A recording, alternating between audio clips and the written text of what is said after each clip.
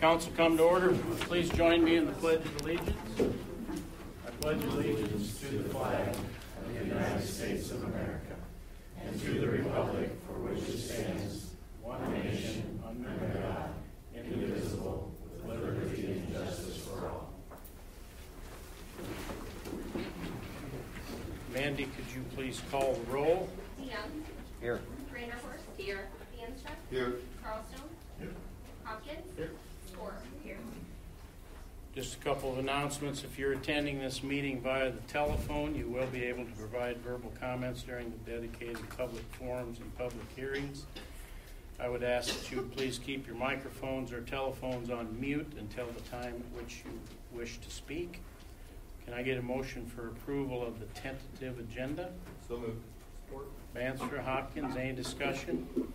Okay, all in favor, please say yes. Opposed, no. Mandy, please call the roll. DeAnstruck. Yes. Hopkins. Spore. Yes. DeYoung. Yes. Branderhorst. Yes. Carlstone. Yes. Motion passed. Acceptance of Civil Service Commission Certified Police Officer List. Mike, please explain. Oh, yes, Mr. Mayor. Actually, I'm going to have Chief McShady uh, turn the floor over and have him explain this item. So, Chief. Yes, be happy to. Good evening. The Civil Service Commission uh, met and certified the following officers uh, for your consideration. Uh, Meyer, Earl Meyer, Sean Mason, and Jacob, um, looks like Nicholas, Nicholas Skack, I believe. I hope that's correct. Uh, They all passed our uh, staff interviews and the initial process. They were interviewed by civil service and each passed their qualifying scores, so we're asking that you accept their list. Okay, thanks, Chief. Anything to add, Mike? No, sir. All right, can I get a motion for approval? So moved. Support. DeYoung, Branderhorst, any discussion? How do we attract somebody from Pennsylvania? I'm sorry? You have an How answer? do we attract somebody from Pennsylvania? I'm glad you asked. So part of our, our recruiting strategy has been to increase our online awareness for openings, and that uh, included doing a little bit of different type of advertising, which we hope to kind of extend our reach a little bit. That's how we believe that we're getting some applicants from a little bit further out, and that's been pretty helpful. Okay, anything else? All right, so all in favor of the motion, please say yes. Opposed, no. Mandy, please call the roll. DeYoung. Yes. Branderhorst. Yes. DeAnstruck. Yes. Carlstone. Yes. Hopkins. Yes. Spore. Yes. Motion passed. All right, now we have opportunity for a public forum. Anyone wishing to address council regarding agenda items, please step forward to the microphone, state your name and address, and please limit your comments to three minutes.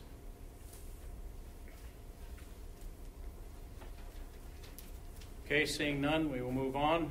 I get a motion for approval of the consent agenda. So moved. Support. Branderhorst DeYoung, discussion, questions?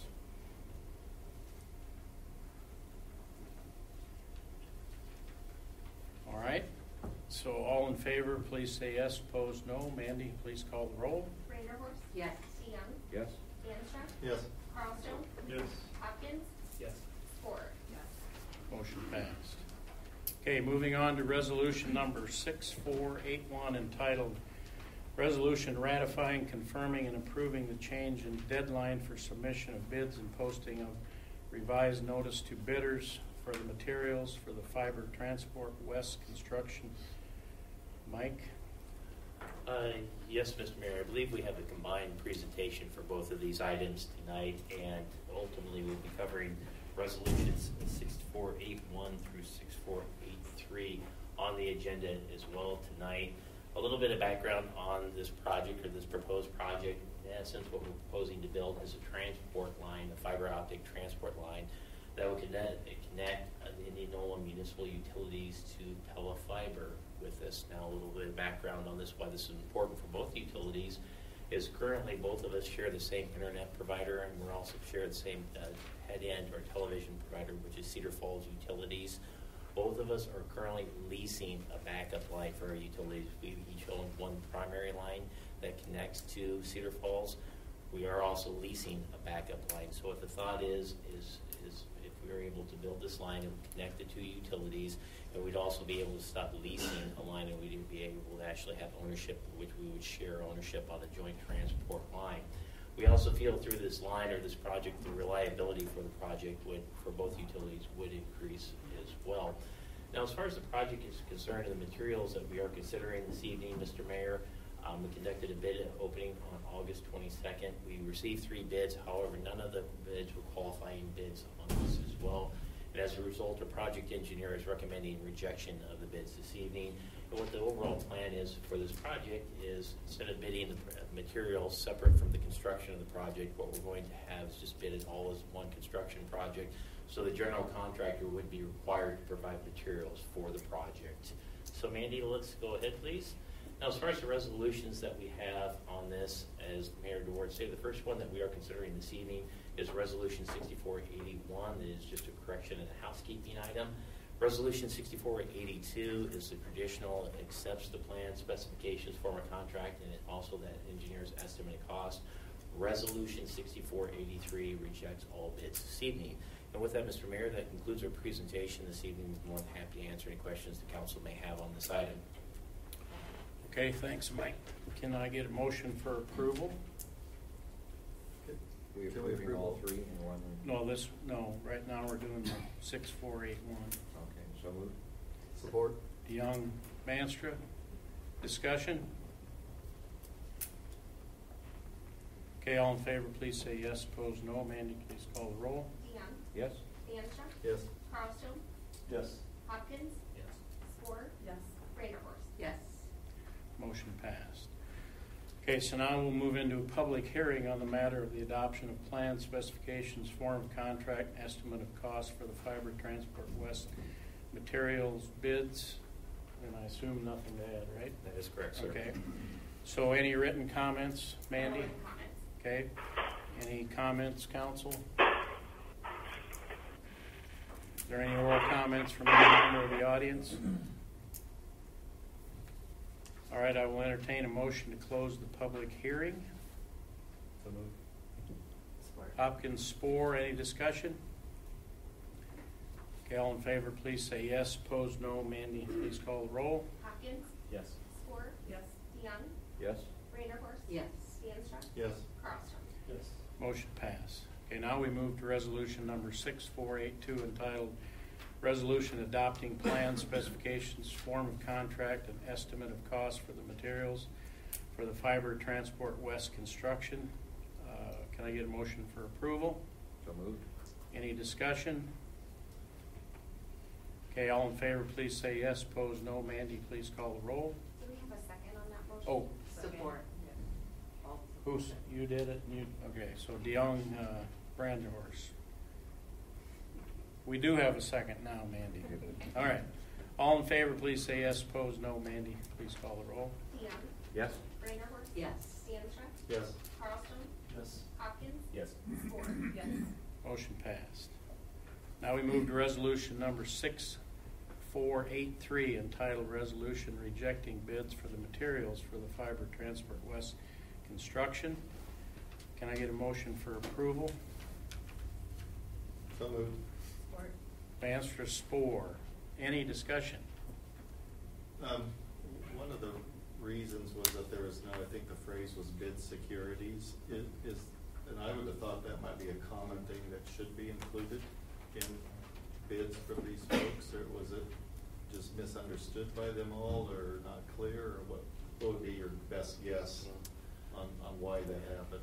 Yeah, and Doy, feel free to add in if there's anything additional, but it was my understanding the suppliers of the materials, they weren't used to supplying those um, bid securities as a general contractor would. And this was something that is important to note that the legal counsel has, has ruled that this would be a public improvement. Those items were required under Iowa law. It just wasn't common practice for the supplier of the materials to include those items.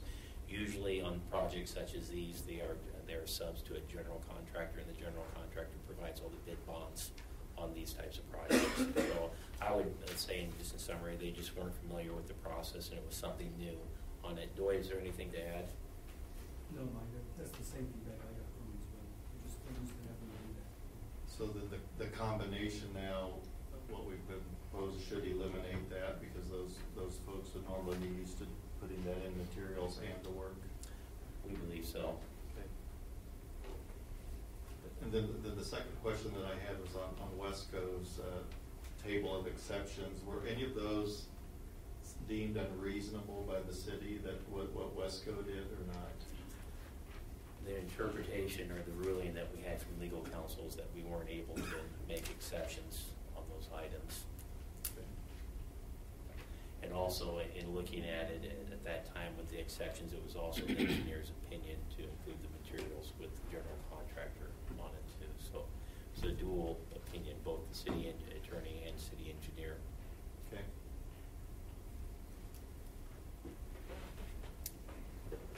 Okay, anything else?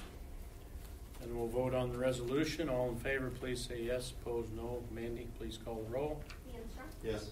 Ford? Yes. DeYoung? Yes? Branderhorst? Yes. Carlstone? Yes. Hopkins? Yes. Motion passed. Okay, moving on, public hearing to consider a zoning code amendment for residential parking in the central business district. Mike? Uh, Yes, Mr. Mayor, I'd be happy to explain this item, and I'd like to direct everyone's attention to the big board for presentation on this item. As Mayor Ward stated, what this proposed ordinance would do would amend the city code to exempt converted residential units in the central business district from the requirement to provide off-street parking. It is important to note, on July 5th, the city council did discuss this issue, and we directed this matter to the Planning and Zoning Commission. Uh, The commission held three separate work sessions on this item, and that's what they're recommending, which is in the proposed ordinance, is summarized up on the big board. So when we look at um, entities that would be exempt from providing off-street parking, it would be any use within the CBD other than new build residential uses, which would be exempt from the requirement to provide off-street parking. And this exemption would include residential conversions in existing buildings on set, uh, within existing buildings on the second and third floors. So the thought is if there's a new residential use within the central business district, they would still be required to provide the off-street parking requirements as listed in the code. But for existing buildings that are just simply being converted, they would not have to provide parking under the city code. Now, um, we've discussed this matter at the city council and planning and zoning uh, commission unanimously approved this ordinance, and staff is also recommending approval of the ordinance this evening as well. Okay, thank you, Mike. Mandy, any written comments? No written comments. Okay, council, comments, questions? Was, was there any opposition at the P and Z from the public? Um, Jerry, would you like to answer that question as far as any opposition of planning and zoning? No, we received two positive, uh, support letters, but no opposition. Anything from uh, downtown retail group? Both in support. All in support? All right. Anything else, council? Any member of the public uh, audience want to comment on this proposal? Could you just clarify the phrasing? This exemption, what exemption are they talking about? And, and does it include or exclude? I don't, I just don't understand what that word means. The exemption is what would be, would be residential conversions within existing two or three, uh, within buildings on the second and third floors. So these would be residential units within existing businesses that are being uh, converted, would, would not have to provide off-street parking. Converted from what to what? Well, converted to a residential use. Existing buildings would be exempt from the requirement if they converted to residential. Any new construction would be required to have the off-street parking. Uh, thank you very Does that much. make sense? Yes, sir. Even in the case of a fire?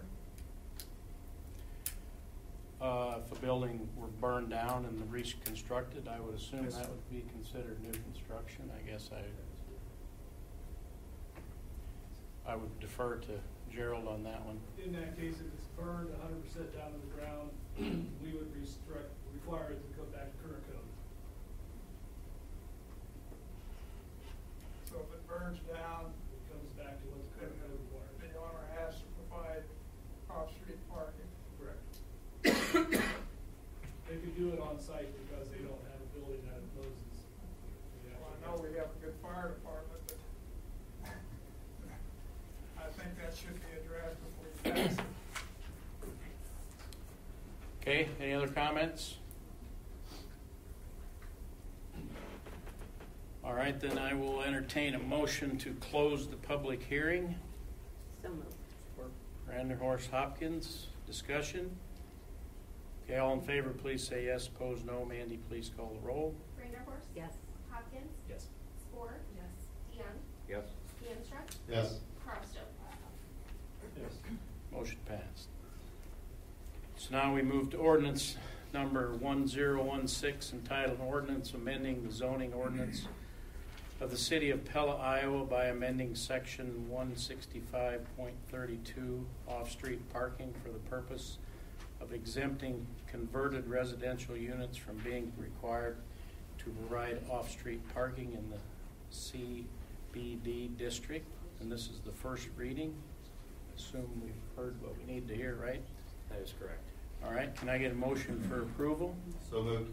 Support. Bandstra Hopkins, discussion. Following up on Dale's comments, um, I think they did anyway, but that building that burned down behind Allen and Newman Dentistry, when that possibly is rebuilt, repurposed, that would have to provide off-street parking.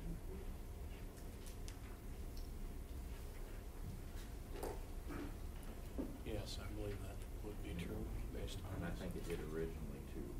Yeah. That is if they wanted to provide residential use within the building. Yeah, good point. Yeah, if it's commercial use, then it's different, but if it's residential. Okay, anything else? All right, all in favor of approving the ordinance change, uh, please say yes. Opposed, no. Mandy, please call the roll. DeAnstruck. Yes. Hopkins. Yes. Spore. Yes. DeYoung. Yes? Branderhorst. Yes. Carlstone. Yeah. Motion passed. And I, given the fact that there was no opposition at the P and Z meetings and none here, I'd uh, move that we suspend the rules and waive the second and third readings. Support. Okay, so motion made and supported to suspend the second, third reading of this ordinance change. Any discussion? I'd like to check into this a little further rather than just push it on through. I don't feel comfortable with what you're, with what you're doing. Okay, uh, anything, council? Any questions? I, I would support going through the full process. Okay, anything else? All right, all in favor, please say yes. Opposed, no. Mandy, please call the roll. DeAnstruck. Yes. Hopkins. Yes. Spore. Yes. DeYoung. No? Branderhorst. No. Carlstone. No. All right, motion fails. Okay, uh, moving on to public hearing regarding issuance of a moratorium in the Oskaloosa Street corridor. Mike? Thanks, Mr. Mayor. I'd be happy to explain this item, and I'd like to direct everyone's attention to the big board for what is proposed moratorium on the Oskaloosa Street corridor.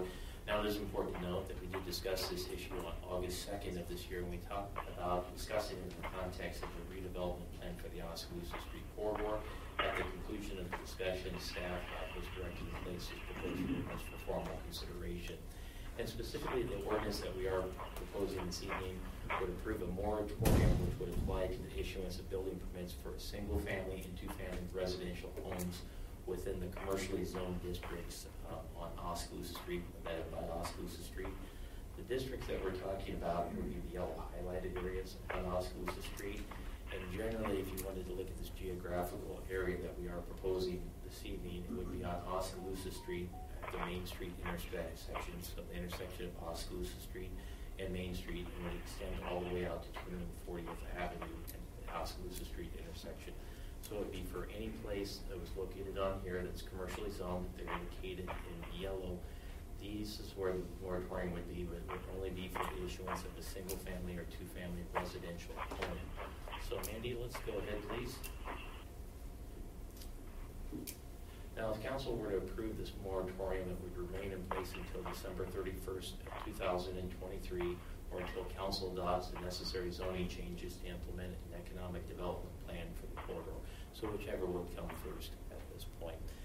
Now, with this, it is important to note that it does not apply to existing single-family and two-family homes which are being rebuilt due to catastrophic events such as a fire or tornado. So the moratorium would not apply to existing homes that are being rebuilt, rebuilt in the event of disaster. Now, in summary, Mr. Mayor, we are recommending approval of the ordinance this evening, and we'd be more than happy to answer any questions uh, the council would have on this item. Okay, thank you, Mike. Uh, Any written comments, Mandy? No written comments. Okay, council comments, questions? I think it's important to note that we did put that caveat in there for the existing homes on Oskaloosa corridor.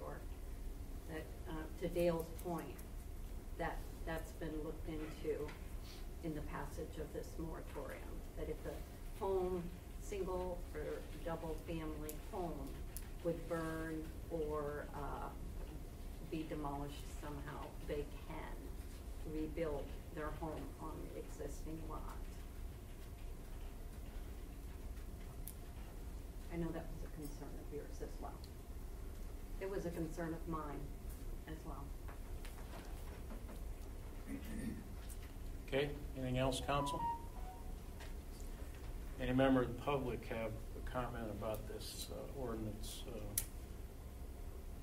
change? All right, then I will entertain a motion to close the public hearing. So moved? DeYoung, Hopkins, any discussion? All right, all in favor, please say yes. Opposed, no. Mandy, please call the roll. DeYoung. Yes. Hopkins. Spore. Yes.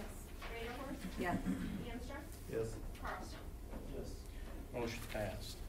Okay, moving on to the ordinance number 1017 entitled Ordinance Approving a Moratorium on the Issuance of Building Permits for Single-Family and Two-Family Residential Homes Within the Commercially Zoned District in the Oskaloosa Street Corridor. This is the first reading. Anything to add, Mike? No, sir. All right, can I get a motion for approval? So moved. Support. Bandstra, Spore, any discussion? There, there's some pretty good vacant parcels there. What if somebody proposes building a three or four story apartment building? That would be permissible. That would be mm-hmm. permissible.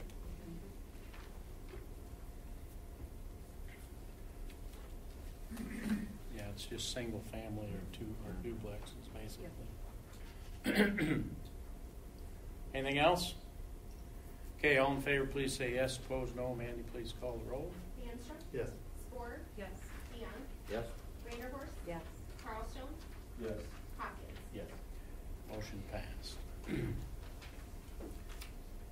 All right, moving on to resolution number 6484 entitled Resolution Approving the First Amendment to the Community Improvements Reimbursement Agreement between the City of Pella and Spirit of Pella for additional holiday decorations in Central Park and the Central Business District. Mike?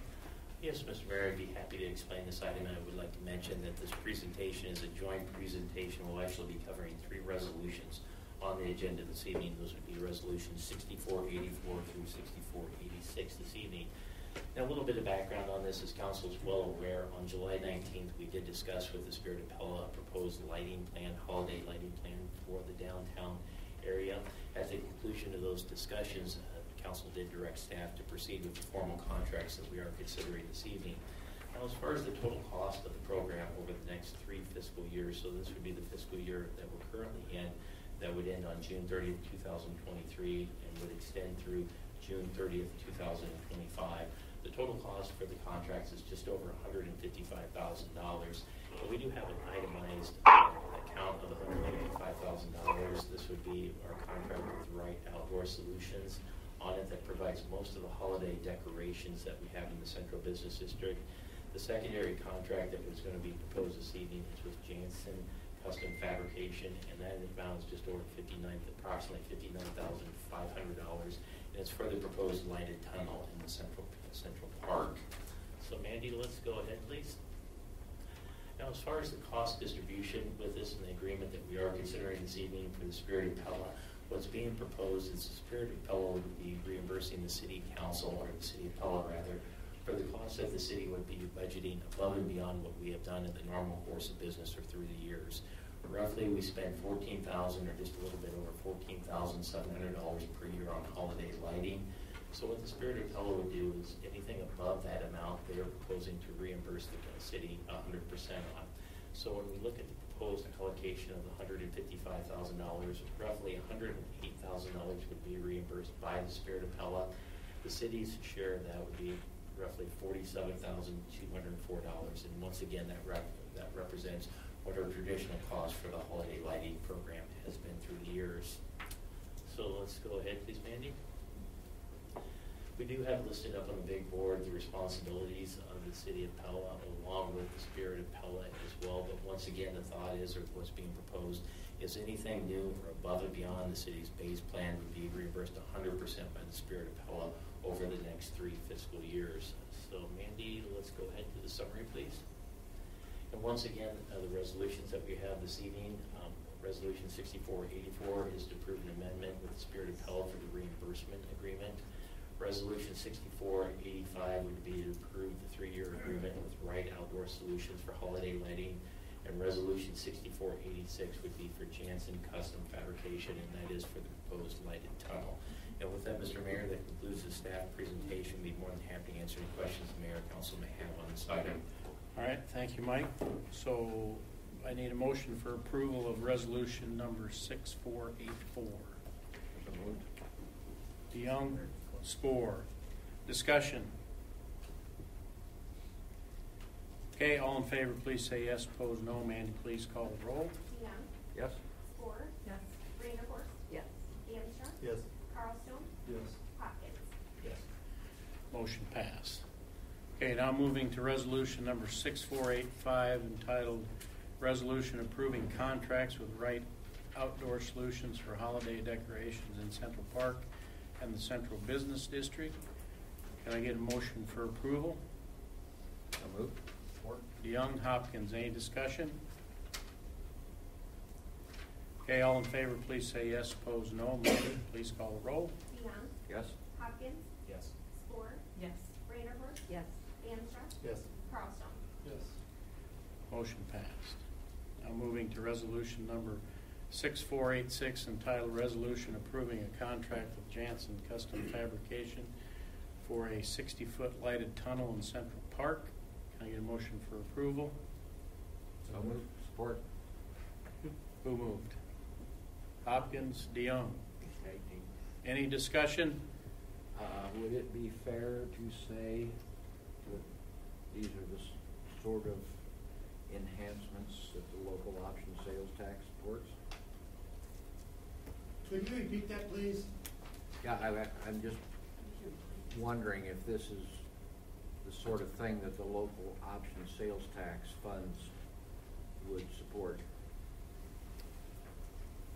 It would be an eligible criteria with the current tax if it was approved by council via resolution on it. It would be a good category for local option, but traditionally, we have not included holiday lighting for the holiday, um, for the. Yeah, for right the now it's in the budget, right? That is correct. Okay, anything else? All in favor, please say yes. Opposed, no. Mandy, please call the roll. Hopkins, Yes. DeYoung, Yes? Branderhorst, Yes. DeAnstruck, Yes. Carlstone, Yes. Spore. Yes. Okay, motion passed. Moving on, resolution number 6487 entitled Resolution Approving Engagement Agreement with the Ahlers and Cooney PC to act as bond counsel for the city of Pella in connection with general obligation capital loan notes. Mike? Thank you, Mr. Mayor. I'd be happy to explain this item. And as what Mayor DeWaard stated, we're entertaining two agreements with the Ahlers and Cooney law firms to serve as bond counsel for the city in the proposed bond issues that we are considering um, this evening. The first issue would be $1.6 million in general obligation capital loan notes in the proposed street projects, the Prairie Street reconstruction project, as well as the Monroe Street reconstruction project as well. The second bond issue would be for two point two million dollars in general capital, capital obligation capital notes for urban renewal projects in the Prairie Ridge commercial development. Now, it is important to know for these projects that we have listed up here, council has previously approved all these projects that we have listed up here, and the proposed source has always been a proposed debt issue for the projects as well. So with that, uh, We have two separate agreements, and the proposed fees are just over thirty-eight, or they're at thirty-eight thousand five hundred dollars for both of the proposed bond issues. And so the fees amounts would be thirty-eight thousand five hundred dollars for both engagements within, I believe, that concludes our presentation this evening. Be more than happy to answer any questions the mayor and council may have on this item. Okay, thank you, Mike. Can I get a motion for approval? So moved. Or, Bandstra Hopkins, any discussion? Okay, all in favor, please say yes. Opposed, no. Mandy, please call the roll. Bandstra. yes. Hopkins. Yes. Spore. Yes. DeYoung. Yes? Branderhorst. Yes. Carlstone. Yes. Motion passed. Moving on, resolution number 6488 entitled Resolution Fixing Date for a Meeting on the Authorization of a Loan Agreement and the Issuance of Not to Exceed $1.6 million in general obligation capital loan notes of the City of Pella, State of Iowa for essential corporate purposes and providing for publication of notice thereof. Mike? Thanks, Mr. Mayor. I'd be happy to explain this item as Mayor sta- stated.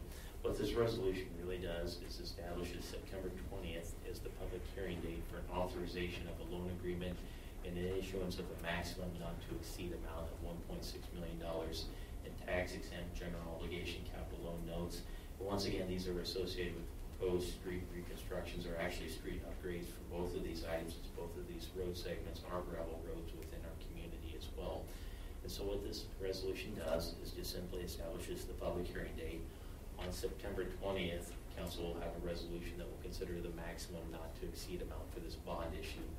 And so once again, uh, Mr. Mayor, that concludes the staff presentation. Be more than happy to to explain or answer any questions the council may have on this item. All right, thank you. Can I get a motion for approval? So moved. Support? Branderhorst DeYoung, discussion, questions? Mike, the only question I had, the, the capitalized interest, do we have any temporary financing between them? Those, it's my understanding with the capitalized interest, that's what we had that included in our pro forma, and that, that's where including the capitalized interest and just simply establishing a not to exceed amount of one point six million. Because usually, th- that means there's been interest that has accrued that you roll into it, right? Or That's my understanding of it. That's correct. In this case, Corey, do you want to address Yeah, that question? the first payment would be in the upcoming fiscal year, so in twenty twenty-four, so we capitalize the interest for FY twenty. For, for the first payment Yeah, then? Okay. yeah, and the principal payment would occur in FY twenty-four. Okay. But right now, we have hundred and fifty-five thousand dollars just in a pro forma for the maximum not to exceed, so it's included in case we choose to, to do, proceed with that. Okay. Okay, anything else? All right, we'll vote on the resolution. All in favor, please say yes. Opposed, no. Mandy, please call the roll. Branderhorst. Yes. DeYoung. Yes? Bandstra. Yes. Carlstone. Yes. Hopkins. Yes. Spore. Yes. Motion passed. Resolution number 6489 entitled Resolution Fixing Date for a Meeting on the Authorization of a Loan Agreement and the Issuance of Not to Exceed 2.2 Million General Obligation Capital Loan Notes of the City of Pella, State of Iowa for essential corporate purposes and providing for publication of notice thereof. Mike? I guess, Mr. Mayor, I'd be happy to explain this item. This item is very similar to what we just considered. What the resolution would actually do is approve September twentieth as the public hearing date for an authorization of a loan agreement and issuance of a maximum not to exceed amount of two point two million dollars in taxable general obligation capital loan notes. And once again, this is for the city's financial obligation for the Prairie Ridge Commercial Development um, area. All we're simply doing is setting the public hearing date for September twentieth, and on September twentieth, what we're simply doing, we'll be considering a maximum not to exceed amount of two point two million dollars in general obligation loan notes. So with that, Mr. Mayor, that concludes the staff presentation on this item. We'd be more than happy to answer any questions the mayor and council may have on this item. All right, thank you, Mike. Can I get a motion for approval? Hopkins? Support? DeYoung, discussion. All right, all in favor, please say yes. Opposed, no. Mandy, please call the roll. Hopkins. Yes. DeYoung. Yes? Branderhorst. Yes. Bandstra. Yes. Carlstone. Yes. Spore. Yes. Motion passed. Okay, uh, abstract of bills number 2110. Can I get a motion for approval? Move to approve and issue warrants. Branderhorst. Hopkins, any discussion or questions? All right, all in favor, please say yes. Opposed, no. Mandy, please call the roll. Branderhorst. Yes. Hopkins. Yes. Spore. Yes. DeYoung. Yes? Bandstra. Yes. Carlstone. Yes. Motion passed. All right, uh, we're, other business, any member of council have any other business that you would like the council to address this evening? I, like I assume everybody else, has been getting a whole stream of emails regarding the road out to the Catholic Church. Has anything materially changed along that Hey. Mark, can you speak up? I can't hear you. Oh, excuse me. Use your mic. I'm sitting here all relaxed. Um, I, and I think everybody has been getting a whole series of... Am I on? I'm not on. No wonder you can't. There we Now go. you are. Let me get I th- I think, are we good now? Stereo? Give me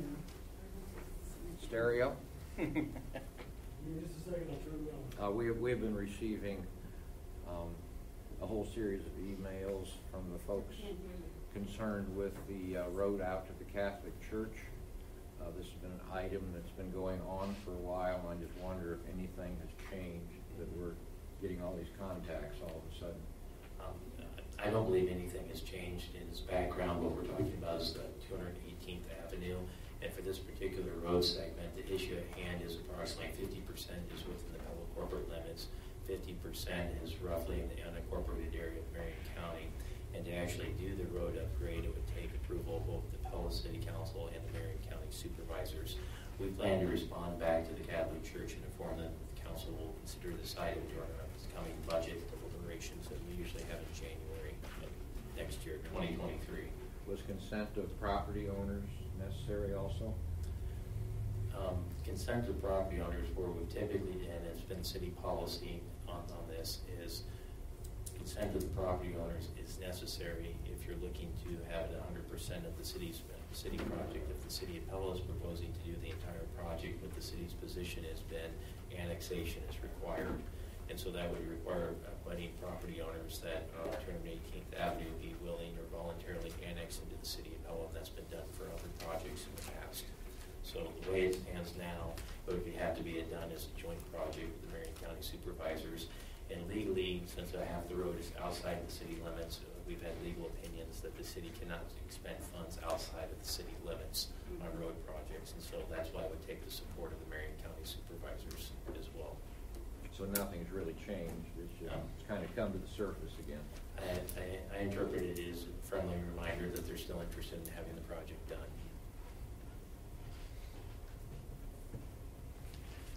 Okay, anything else, council?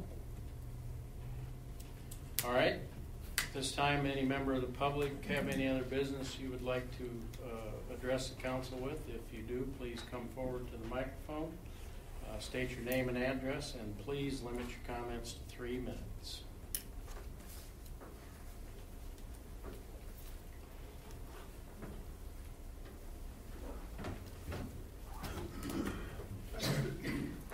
Thank you, Your Honor. Good to see you back in your chair. Good to be back. Wish you the best. I've addressed the council before.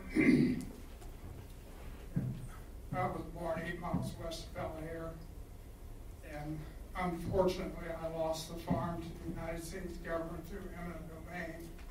From consequent, I moved into Pella. I graduated from Pella Community High School in nineteen sixty-one, and I've been working my, my Indian life off ever since. I have three questions for you. First question is, why are you and the council taking away our property tax relief for the next twenty years to the tune of six and a half million dollars?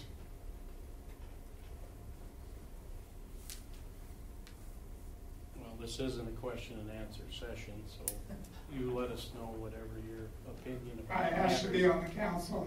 Earlier, and they said that I could come up here now and do it. Say, Okay. uh, All right, I, I would ask where that number comes from. where that number comes from, it comes from the sheet to put out there, it'll be on the, on the ballot, says no money for property tax relief. Have done, we, we continue to have, what, fifty percent for infrastructure projects? Can't hear you, Oh. I'm sorry. You just gotta get closer to the Yeah. mic.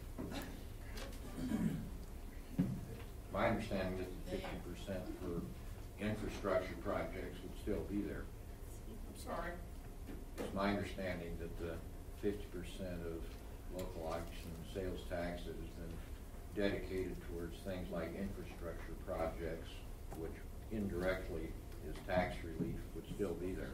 Twenty percent of the lost income went to property tax relief, and they've taken that away from us. Over the last ten years, the city has spent approximately fifty percent on property tax relief and infrastructure for the local option sales and services tax. So it's my understanding that the city still intends with the new local option sales and services tax to spend fifty percent on infrastructure release. Infrastructure, we've always considered both the categories, property tax relief and infrastructure, one and the same. So Councilmember DeYoung, you are correct. Fifty percent would still be dedicated towards infrastructure, so there's no material change on the distribution of the local option sales and services tax. Fifty percent would be spent on quality of life projects, fifty percent would be spent on infrastructure projects, infrastructure So if we projects. clarify further what um, tax relief means, is that language maybe what's getting us caught up in things? Can you clarify that, maybe for me and maybe some in the audience? What, I think that might be semantical, needs to be clarified. Yeah. Property tax relief is, it's funds that are transferred directly to the general fund, and once they're in the general fund, we use it as property tax relief, and we show what the city's tax rate would have been without the property tax relief and what it would have been. And what the city has done is they've allocated those property tax funds in essence to support other projects within it, and that's what, how the property tax relief is. So that's why we've always considered property tax relief and infrastructure one and the same from our standpoint. So the distribution is still the same, it's just being identified as infrastructure improvements. I don't know if that helps clarify, it does for me a little bit. I do have a document here, June 21, 2022. The City Council of the City of Pella met in a regular session, Public Safety Complex, 614 Main Street, Pella, at 6 p.m. PM on the above date. Those present were Mayor DeWaard and Chair, the following council members, Young via phone, Horst, Master Hawkins, and Carlson, absent none. Councilmember Bassett introduced and delivered to the clerk a resolution thereafter entitled a resolution calling for a special election and imposition of local option sales tax and service within the city of Pella. That the same be adopted. Council Hawkins seconded the motion. The roll call was ayes. DeYoung, Spore, Van Horst, Bannister, Hawkins, Carlson, nays, none. Whereupon the mayor declared the resolution sixty-four fifty-two adopted. And it goes on to talk about when it starts and when it ends. It says, shall the following measure be adopted, yes or no? Revenues from the local option sales and service tax are to be allocated as far follows. Zero percent shall be used for property tax relief. Now, over the next twenty years, that's gonna cost us property taxpayers about six and a half million dollars. I think it's time that you people look at this before we go to the election. It's all semantics, Dale. That, that fifty percent is going into the general fund, and those, whether you call it property tax relief or infrastructure work, it's all general fund. And without those funds, over the coming years, the money has to come from somewhere. That's If right. it's not contributed by our friends that visit Pella. So uh-huh. we are probably, given my experience, down the road, looking at a property tax increase if we don't have those local option sales tax funds. Is there anybody in here that has not had a tax increase on their property tax the last ten years? But let's differentiate between valuation and tax rate. You just took fire away from me because the mayor says here that the city of Pella has been able to maintain its existing property tax rate for the last twenty-one years. We're not talking about rate, we're talking about the amount of taxes. That we don't control. The only, the only thing this body can control is the rate. Well, The county assessor is the, is the one who assesses value. You, you're right, you pay more in city taxes, but not because city council has changed the rate. And there's no, there is no plan by this body to raise the rate, and that's the only thing we can control. If you don't like your assessment, you don't like what you're paying tax on, you need to go visit the assessor and protest that. But that's what you pay tax on, but the rate has remained the same for twenty-one years, and it will remain the same moving into the future. but you also But I, and also, uh, twenty-one years, I didn't, I didn't get the figure, but the budget to manage the city of Pella would have grown at a very large amount over the last twenty-one years.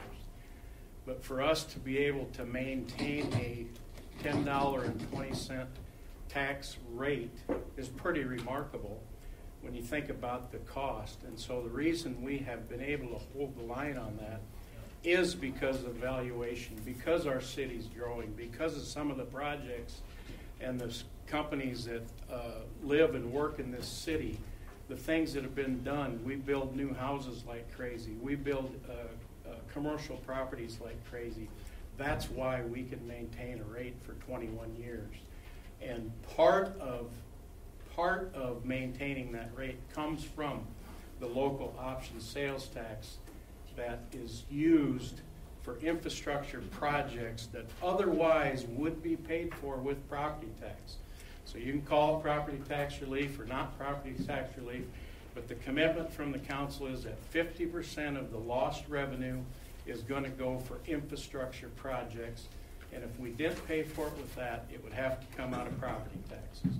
So we are saving property taxes by using the lost revenue for these infrastructure projects. Not when you're gonna build a project three miles from the town square. That's, Okay. You know, Yeah, I, I have a little presentation I'm gonna give when everybody's done, because there is so much misinformation out there. I wanna get the facts on the table. I've got a presentation that talks, you know, the good thing from our standpoint is, every meeting we have, anything we talk about is public. You have every opportunity to question us, but it's public. And so I'm going to go through what has actually been said, what has actually been proposed, not what these crazy numbers that I see out there, some fantasy land about costs and this kind of thing. We're going to talk about what has actually been discussed by the city council. We have a plan moving forward, and it'll be real, not some fantasy numbers that are out there. okay. Now, I've got two more questions. All right? You're well past your three I minutes, I but am. I will let you, I will let you move on. But I think it's vitally important that I get answers to these three questions before next week's election. Okay. Your proposed project, three miles southeast of the town square, is estimated to be forty-five million. However, the old Pella High School project is estimated to be five point five million to twenty-two million. Your figures just don't add up. Okay? Now, I will, uh, the presentation I'll give in a minute will answer that question. It'll answer the first will you, question. will you take it, take questions after you make your presentation? I will. Okay. The third question I have for you is that if Pella is such a great place, and I agree that it is a great place to live, that's why I live here today. Like I said, I was born eight miles west of here. Pella is my home. Why is your family members acquiring lots and planning to build a duplex in a neighboring town ten miles from Pella? And that's a project I understand has been put on hold because of lumber costs. Say, say that again? Why are my family members? Yeah, I understand that some of your family has acquired some lots in an existing town, and they were gonna build a duplex. That's all hearsay? I have no idea what you're talking about. Okay, I'll do some more checking and get back to you. I- I don't know. Okay. All right, thank you for your time, I'll listen to your presentation, and we'll go from there. Anybody else want to comment? Because I will, the, I will answer Dale's three questions.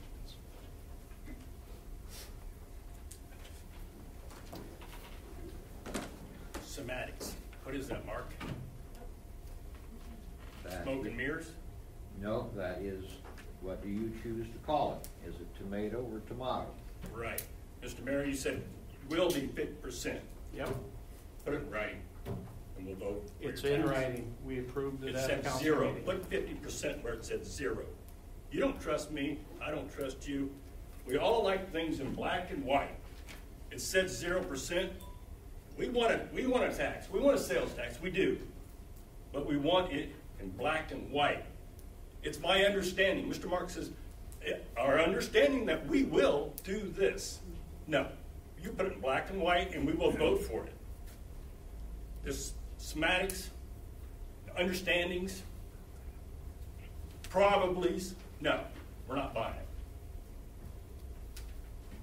It says zero percent, and that's what we have to go by, because you can change your mind and say, well, we never promised that. You don't trust me, I don't trust you. Let's just play it fair and square, get it black and white. We'll get, you think it's funny, don't you, Mr. Mayor? I'm sorry. Well, you know, Okay. you're, you're the guy that came up and told us last time we were building a three million dollar dog park. So Keith, what you say doesn't make a lot of sense because three million dollar dog park has never been discussed. That's, that's what you're going with? Well, I'm just repeating Okay. what you told us. You don't trust me. I don't trust you. Put it in black and white and then we're both even, okay? Well, Can I you do that? I do know that we have a budget process every January, February, March, and we lay out exactly how money is gonna be spent. That's the responsibility of this, of this board. So is it gonna be exactly fifty percent property tax relief, like you just mentioned? There will be fifty percent of the local option sales tax will be spent on infrastructure projects within the city of Pelican. You put it on the ballot and we'll vote for it until it's on the ballot. It's we'll already, not it's on the vote for it. ballot. It is says not. it right there, what, It says, what it's we gonna be will spent. probably, it's our understanding is what you're giving me. So your example for me is the same to you. You want to take zero percent property relief tax to the people for the rest of my life. Knoxville can put it in black and white and say, we're going to give fifty percent to the people. Why can't you? Keith, Why can't what- you do that? Keith, what, what's Knoxville's tax rate? I'm talking about the Keith, local what option. is Knoxville's tax rate? That's fine, they can have a tax rate, you guys Okay, got a then they tax can rate. have the fifty percent too. It's seventeen buck, it's seventy percent higher than Pella's. They need hundred percent tax relief, and when they do that, they're not gonna lower their taxes by even one dime. It's just the bucket where it goes in, where the dollars come out of. Can you put it in black and white where you I don't have to put it in black and white, that's the way it goes. Any city that, that, that puts money in property tax relief, it doesn't lower property taxes. It just goes in that bucket, and that's where the dollars come from. Okay, so you're gonna take our property tax relief away and put it down to zero percent, correct? Not, not if it's spent on infrastructure.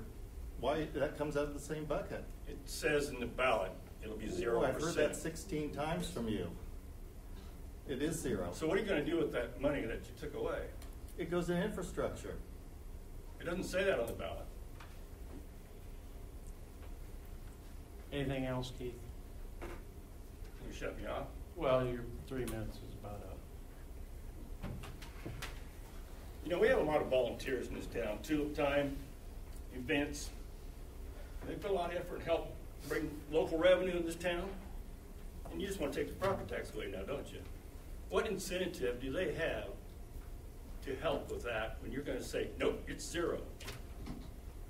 That's, that's despicable. Come on, guys. If you want to give back fifty percent, then say you will. But until you put it black and white, there's no reason for us to, to believe you, just like you wouldn't believe me. I want you as members tonight to voice your support against zero percent property tax relief. And if you can't do that, you will forever be known as the council that took it away. You can walk down the street, I'm sure it don't bother you guys, but people will look at you and say, yeah, that's the guy that took our property tax relief away. And then they call it something else, like a probably or an understanding or semantics or something. Those, those will be you people. So you can either tell your constituents that you do not support these actions, or you can forever carry it with you. And is that how you guys run your businesses? Uh, Mike, can you clarify for me, is, does our current loss that's expiring, does any of those dollars go into a fund or a bucket or a title called property tax relief? Or does it go into uh, the big bucket called the general? I'm, I'm still lost at what, what you're, I, I think we're saying the same things, saying it from different angles. That's what semantics is. And I guess, uh, I'm not trying to throw big words out, I just, I want to clarify what, I, I think that's gonna be addressed in the, in the presentation that we have, so. I- So I, I, I think we're saying the same thing from two different sides of the doorway. We both want to walk to the door, but we're yelling at each other Yeah, because I we want, look I at the want door sales different. tax, I do. So I, I So- think, I think that's a- maybe going to be addressed. but, Yeah, uh, so when the city wrote that, why did you write it as zero percent property tax relief? Can you, Mike, would you explain how Iowa law requires to put some percentage in there and the thought process? On the ballot, you have to specify property tax relief and the percentage on, on the ballot, even if it's zero on it. Can you but it has speak to into be- the mic, please? I can't, I can't hear I'm- you, sorry. I'm not sure the mic's on, I'm speaking right into it. Is that better? Not a whole lot. No, the, the sound system's Oh, not the- working, Mike. Okay. Oh, okay. Uh, I'll try to talk loud. There we go, there we go. Okay. Uh, looks like it went back on, so, all right. On for, pro- for the local option sales and services tax, you have to put on property tax relief in a percentage, even if it's zero. Even if the money for property tax relief is ultimately used for other projects such as infrastructure, you have to put on a percentage. That's the only category you have to put on a percentage. What the thought was is looking at the city's proposal, fifty percent would be spent on infrastructure, fifty percent on quality of life on, on it. So we were trying to be a little bit more direct in the proposal, and the discussions that we had on the matter. That was the intent. That, that was the thought. Why to? That, did I answer your question, Mayor? Mhm. Okay, So can we go back and have us lo- lost tax, sales tax, can we go have one that says twenty percent shall be used for property tax relief for ten years?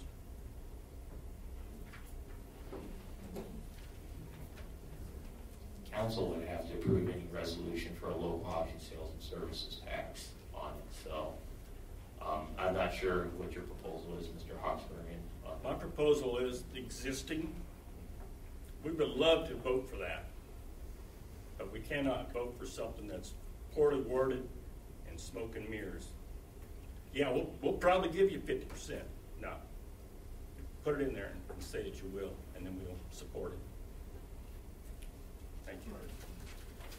okay, anyone else?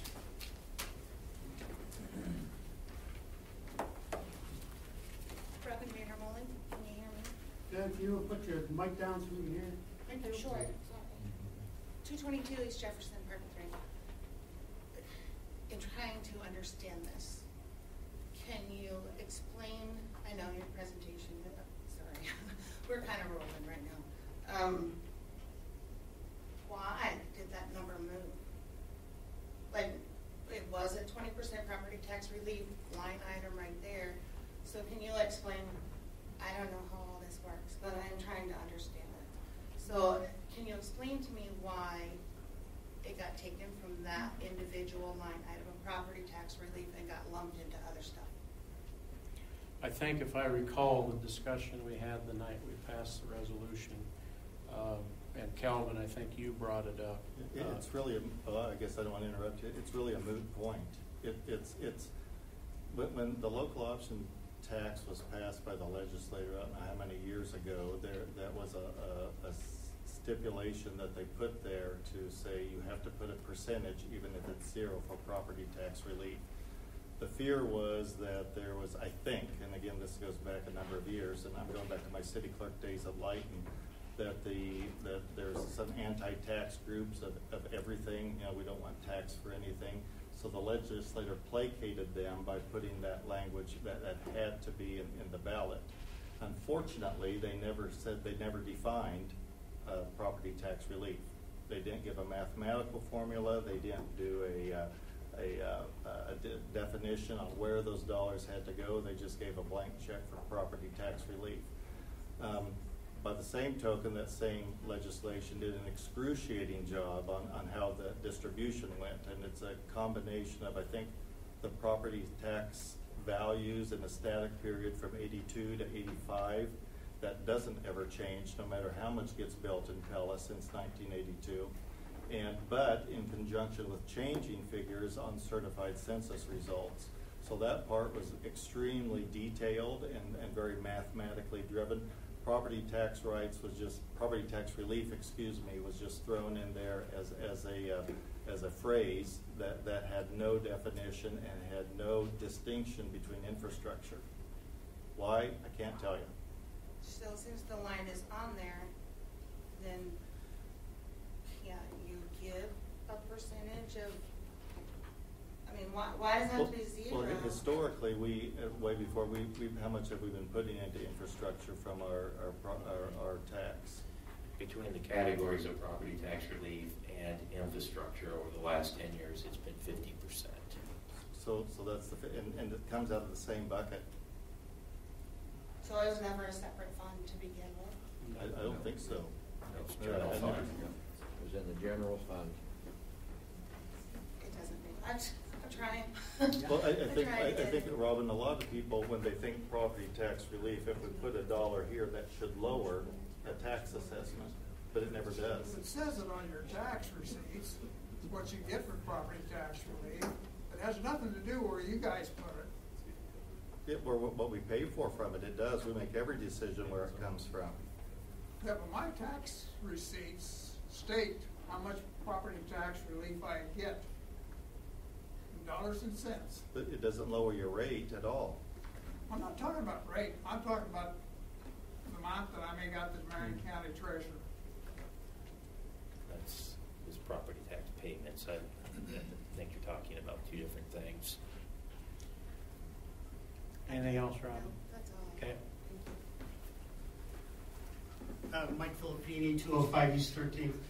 I just want to clarify, what I'm hearing is, instead of using property tax relief, you're being more specific and putting it into infrastructure, and infrastructure equals property tax relief. Is that You correct? got it. You got it.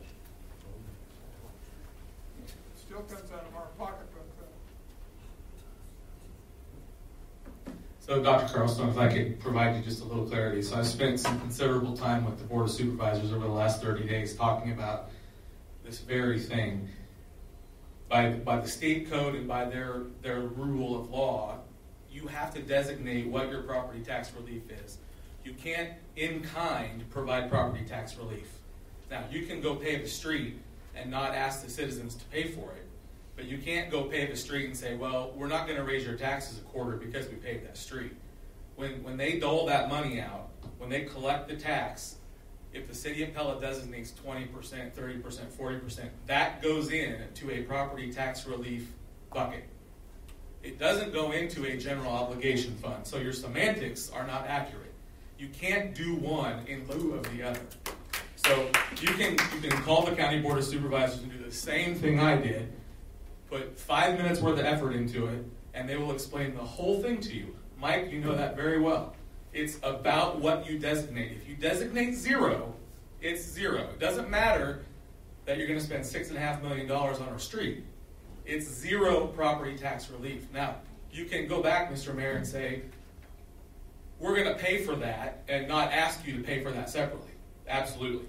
But that doesn't consider property tax relief. That's just the city choosing to pave a road and not ask the citizens to pay for it. So hopefully that So it's the guarantee that, Mhm. that, uh, Correct. that that bucket uh, Right. fulfills for Correct. you guys. So if, if the current loss tax, just so that we're also clear, to pay for Christmas lights out of a loss tax, this current loss tax expires the end of 2023. The one we're going to vote on doesn't go into effect until 2024. So to pay for these lights, to your example, Mr. Young, would have to come out of this current loss tax. The one we're voting on in a week has nothing to do with paying for those lights now.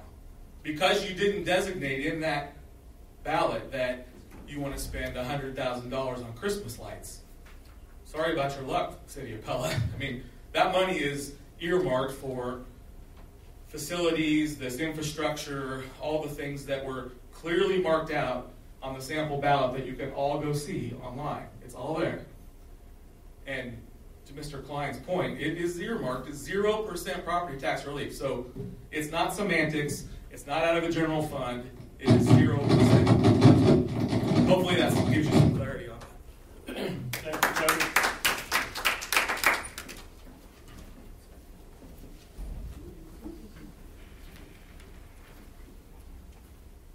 Scott Dupenning, uh, 1009 Broadway. Um, I'm going to greatly modify what I wrote this afternoon. Uh, Many of the items have already been talked about, and I don't want to reiterate any more than I have to. But in lieu of what Tony just brought up, I did bring a question to the council two or three times ago about the nine hundred eighty-five thousand odd dollars of our current loss tax that got directed at a new facility, which from what I just heard Tony say, isn't a proper use of that funds if it was not spelled out in the current loss tax bond issue. So that, that's one question I have. You've already spent or earmarked nine hundred eighty-five thousand dollars towards a project that is the elephant in the room because you have rotated a rec complex into discussion on a regular basis for over a year. And the fact that you're not specifying a percentage to relief, and I understand your, the old was twenty, and you did other projects that equated to equal to fifty percent. I don't understand why you can't just say fifty percent, because that's the reason people are concerned is that you're gonna choose a project that they have no control over. And that there's a lot of people that don't, I don't think want it. They don't understand it. Um, I've done my own research, uh, and it's easy research. The three cities, three of the cities that you've used as examples in past presentations, I believe are Waukee, Indianola, and Marion, Iowa, correct? Um, Presentations pertaining to what? A rec Uh, center. Excuse me. A rec center. Your examples were, and some of your examples were Waukee, Indianola, and Marion, Iowa. I, I believe that's correct. We did look at other rec centers in those communities. Okay, did you look at what the current standings are of those facilities? Excuse me, sir? Have you researched or looked into the current statuses of all three of those facilities and how they came to be and how they're being operated? I, I think, uh, somebody correct me, I think what was on charts was square footage and cost at inception. Were those the two categories that were on there? I Okay. think. I looked into those, and they're all three financially challenged, would be a kind word to use. Every one of them has had their own set of problems. Uh, Ankeny was one, they had, they had a flood. They still haven't figured out how they're going to pay for a new facility. They're a much larger city than we are, much larger tax base. They're struggling with making a decision like this. Indianola and Waukee are both part of the Greater Des Moines YMCA's. Every one of those have an I, uh, YMCA affiliation, and the city doesn't have an all-in thing. They only got a piece of the pie, and it's not even a quarter of it. So when you talk about forty-five to sixty million dollars, and that that's the city uh, minus maybe your 12, thou- 12 million from corporate sponsorships, which they talk about getting corporate sponsorships, that still leaves the city with a huge obligation. The city hasn't even proactively supported a regular gym facility. The one we had has been three different things before it's where it's at now, and that hasn't even been for six months.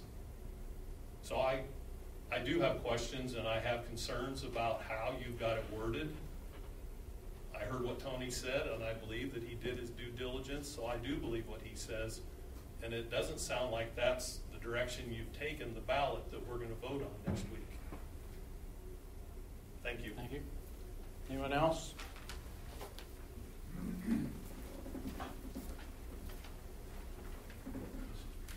Anita Fisher, fifteen forty-six Pleasant Drive. Can you hear me okay? Yeah.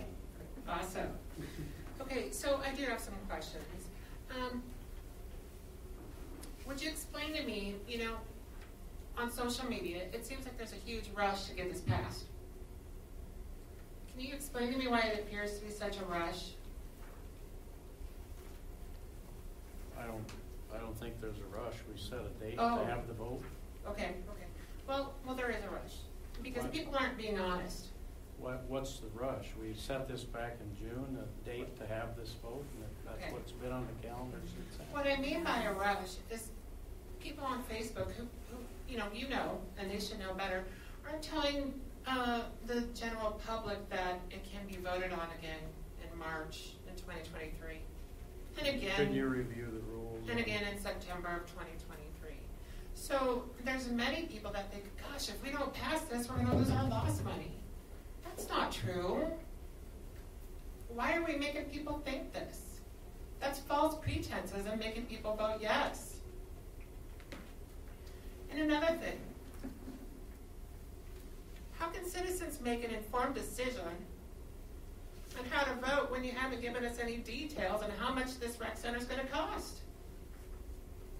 You give us roundabout numbers. How about maintenance? Operating costs?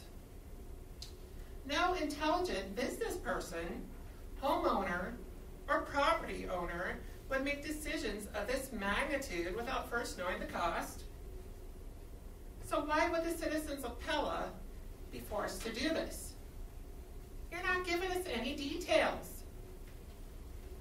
Do you not understand that we want to know this? This could be on our backs if it falls flat, guys. So I want people to understand social media, wherever, there is no rush. We are not losing the tax money. Speaking of cost, are all the citizens being considered when it comes to this rec center? I don't know about you guys, but I've heard plenty of folks from Pella Corp and Vermeers say, I'll never use it. It's going to cost too much. Are you considering everybody? Our senior citizens are living paycheck to paycheck on a fixed income. Not just them, we've got our single mothers, our young families. They are the future of Pella, and they're struggling to make ends meet. We want people to stay. We want people to grow, to come and move here. It's my understanding that this rec center is hopefully going to bring, bring people to be here, to live here. Why are we making it almost impossible for those that live here to stay? Why? Do you not care about them? It sure seems that way. My last point is this. Inflation is skyrocketing. I don't need to tell you that. You can go to the grocery store and know that. Is this really a time to add a financial burden on our people? It's really not. You need to consider everybody. That's it. Thank you. Anyone else? All right, take, totally different topic for you, okay? Um, you guys probably remember me a few months ago. Jeff Dingaman, uh, born and raised here, lived here 30 years, and currently live out of city limits, uh, Pella School District though. Um, I, uh, I was here in May last time with the planning and zoning and had my preliminary plot picked apart and approved with some exceptions. And then also at city council on, I don't know, May 17 maybe, and then it was approved. We have moved forward to submit that exact preliminary plot into a final plot. Nothing's changed, and we are being told that we cannot proceed as it was approved. Didn't change anything. I imagine if we had to change something, then they would have to pick it apart again, but it's been picked apart half a dozen, a dozen times since last fall, and we thought we were in consensus with everybody at P and Z office, and I'm just wondering who I can go to either tonight or after this and get an answer. I haven't gotten very far with Gerald because he's telling me I have to change it no matter what, but I was under the understanding, as well as Garden Associates, Brad Udemark and Aaron Van that the preliminary plot that was approved was already picked apart and could be submitted and approved as it was approved those, that night at city council. Um, so I mean, I might not go anywhere with this tonight, but I figured I'd at least bring it to everybody's attention. Uh, I'm, I'm having trouble getting my building up, and I really want to do it before winter. I know that's what we started back in last fall, January, February, March, but if I get an answer tonight of how to proceed, I've been, been told to come here and bring it to you because me bringing it to P and Z has been nothing but roadblocks, so that's why I'm here.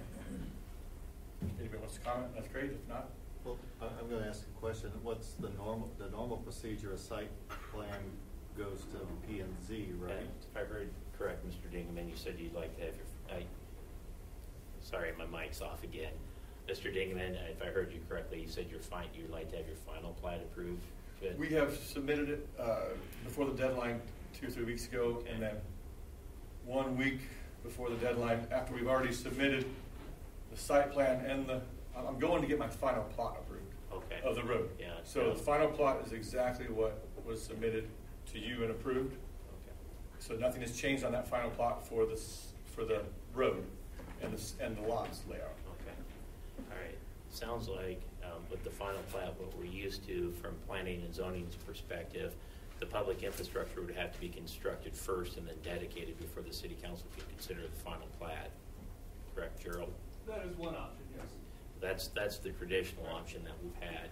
I'd be happy to, look- we'd be happy to look into this matter, but typically before city council can consider a final plat or a site plan on it, the public infrastructure has to be constructed to to city standards. We also have to accept it at the city council before that, or Mr. Dingerman would have to post, or the applicant would have to post a bond for it, on it as well. And I'm not sure where we're at in that process, So, just uh, if I've understood you correctly, but. We have submitted the final plat to come to city council this month, but we're told we cannot submit it as we, with a bond, like you discussed. We're totally, we're told that the preliminary plat was incorrect. So we're told that we cannot submit it as it was already approved. And I went through a lot to get that approved. Yeah. In fact, I think I sold my soul in the middle of that, but, uh, I think what was approved here should be what it is. And I'm being told that my setbacks and my front lots and side lots are not what was already approved. And we have submitted the final plot to go forward with a bond guarantee. So you do have your bonds in place? Yes. For it, okay. Um, we have been told it's on hold because what was approved is not gonna be okay. We Well, should have record of that. I was gonna Yep, say- I got the records with Uh, me. yeah, and you keep impec, I don't think mine is on, what the world? Um. You do keep impeccable records and, and I need to, I, I want to, I don't need to. I want to really apologize to you because you have been extremely patient through this whole process. And I'm sorry that we're having to hear about this in, in this type of format because we're kind of in a position now where our hands are tied. But I do remember, like tied in making a, a decision for you at this time. But I do remember the approval process, and I was at the P and Z meeting where this, uh, you know, we, it, just prior to it coming to council. So I'm kind of with, like with you. I'm completely puzzled by this because you do do your homework. You, nobody can ever say that you're a shoddy um, record keeper, and you've spent an extraordinarily high amount of money on this project, too. As small as it is, yes. Yeah. Yeah. So we got the P and Z guy here tonight, can we, can we get some Uh, light shed on this? I'd like to ask one question first, if I may. When, when the approvals were made, like with the road issue, did that change any of the footprint of, of anything that, that No, 'cause would have, we, would um, have there been follow-through effects of that? We submitted the plot, the preliminary plot that was approved on March eighth. So the city planning and zoning office had it for two and a half, or over two months. And they picked it apart a few times and we changed a few things, but nothing was changed on that. And it was just, you know, Uh, March eighth, we submitted it with that road right of way that was approved. Yeah. Everybody remembers the road right of way off the Colts. The- the width of that Yeah, was the never width of the road, everything was there, all the setbacks were in place, and that had not changed since March 8, and was not asked to be changed, which everything has been asked to be changed a lot over the last year. So Garden is under the understanding that once that preliminary plot is approved, that that is what we can go by moving forward.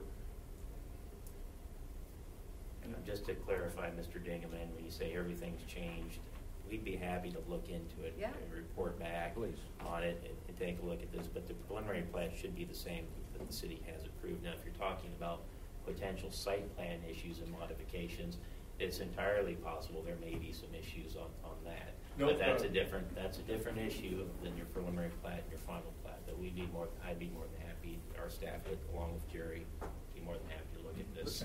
But then one, one more question, just on the timing of everything, and I know it's hard to think of winter right now, but when, when is the next, does that normally go through P and Z?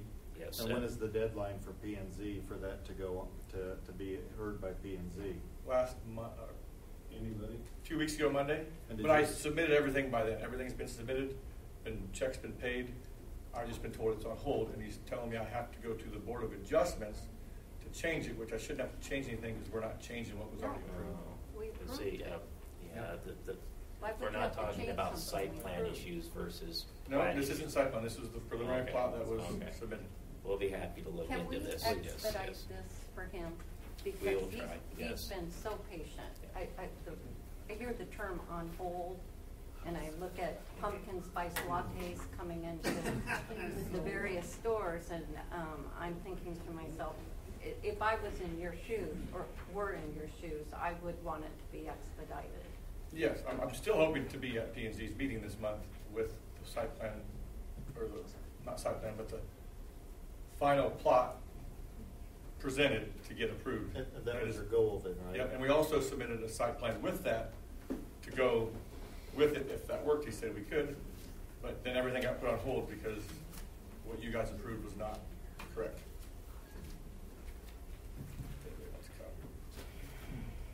It will be checked into. Thank you very much, that's all I can ask. All right, thanks, Jeff. You bet. Anybody else? Okay, Mandy, can you pull up, uh, I just want to review, uh, try to clear up some of the confusion and some of the misinformation that's out there. So, uh, this first slide shows the local option sales tax loss revenue, and the current one that took effect January 1, 2012, and that will expire December 31, 2023.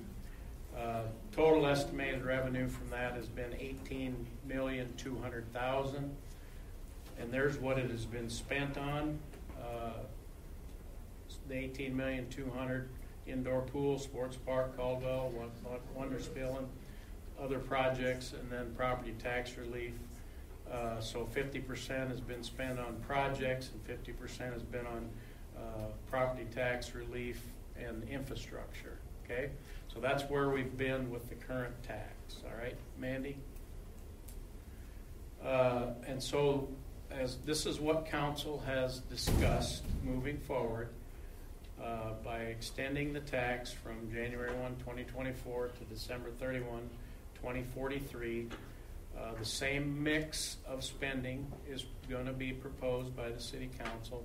Fifty percent will be spent on infrastructure projects, fifty percent will be spent on quality of life projects. So there is no difference in how the money is going to be spent, this one compared to the last one. Our estimated lost revenue during this period is uh, 45 to 55 million, and that's based on a 2% rate growth. So I did a little research, and in, in the first year that Pella had the lost tax revenue, we took in $905,000. This latest latest fiscal year, which just ended June 20 of 2022, we took in $1,854,000 of lost revenue. So you can see significant growth over that time period. Uh, and so I think it's safe or fair to project some kind of growth uh, moving forward. Pella continues to grow. We uh, continue to increase our sales tax revenue. So our best estimate is somewhere between 45 and 55 million dollars will be collected with the new loss rev, the new lost in place starting in January of 2024. Okay, Andy? And and then the other part of this discussion, uh, we have had a facilities uh, plan. We have had a pretty extensive discussion about a facilities plan moving forward. And the reasons why we're talking about uh, some of these facilities is uh, obviously uh, a new rec center, fixing the community center. Those are important projects to the community that, that will help uh, the quality of life within the community. We're always looking to attract new citizens, which in turn, when we do that, and I kind of explained this already, will increase our property tax base, which allows us to maintain the low the very low compared to most communities property tax rate that we have. And so that's, you know, those are things we consider as we talk about adding, adding facilities, adding amenities to the communities. Uh, when I talk to the uh, leadership at our larger corporations, one of their big challenges is, is people, attracting people. And so from their perspective, the more things we can do as a community, and they put their money where their mouth is. They spend a ton of money in this community to enhance these types of projects. We have uh, $12,250,000 uh, already committed to these projects. Think about that number. You go to Waukee and talk about it, you go to Ankeny and talk about it. Nobody has that kind of support from the local community.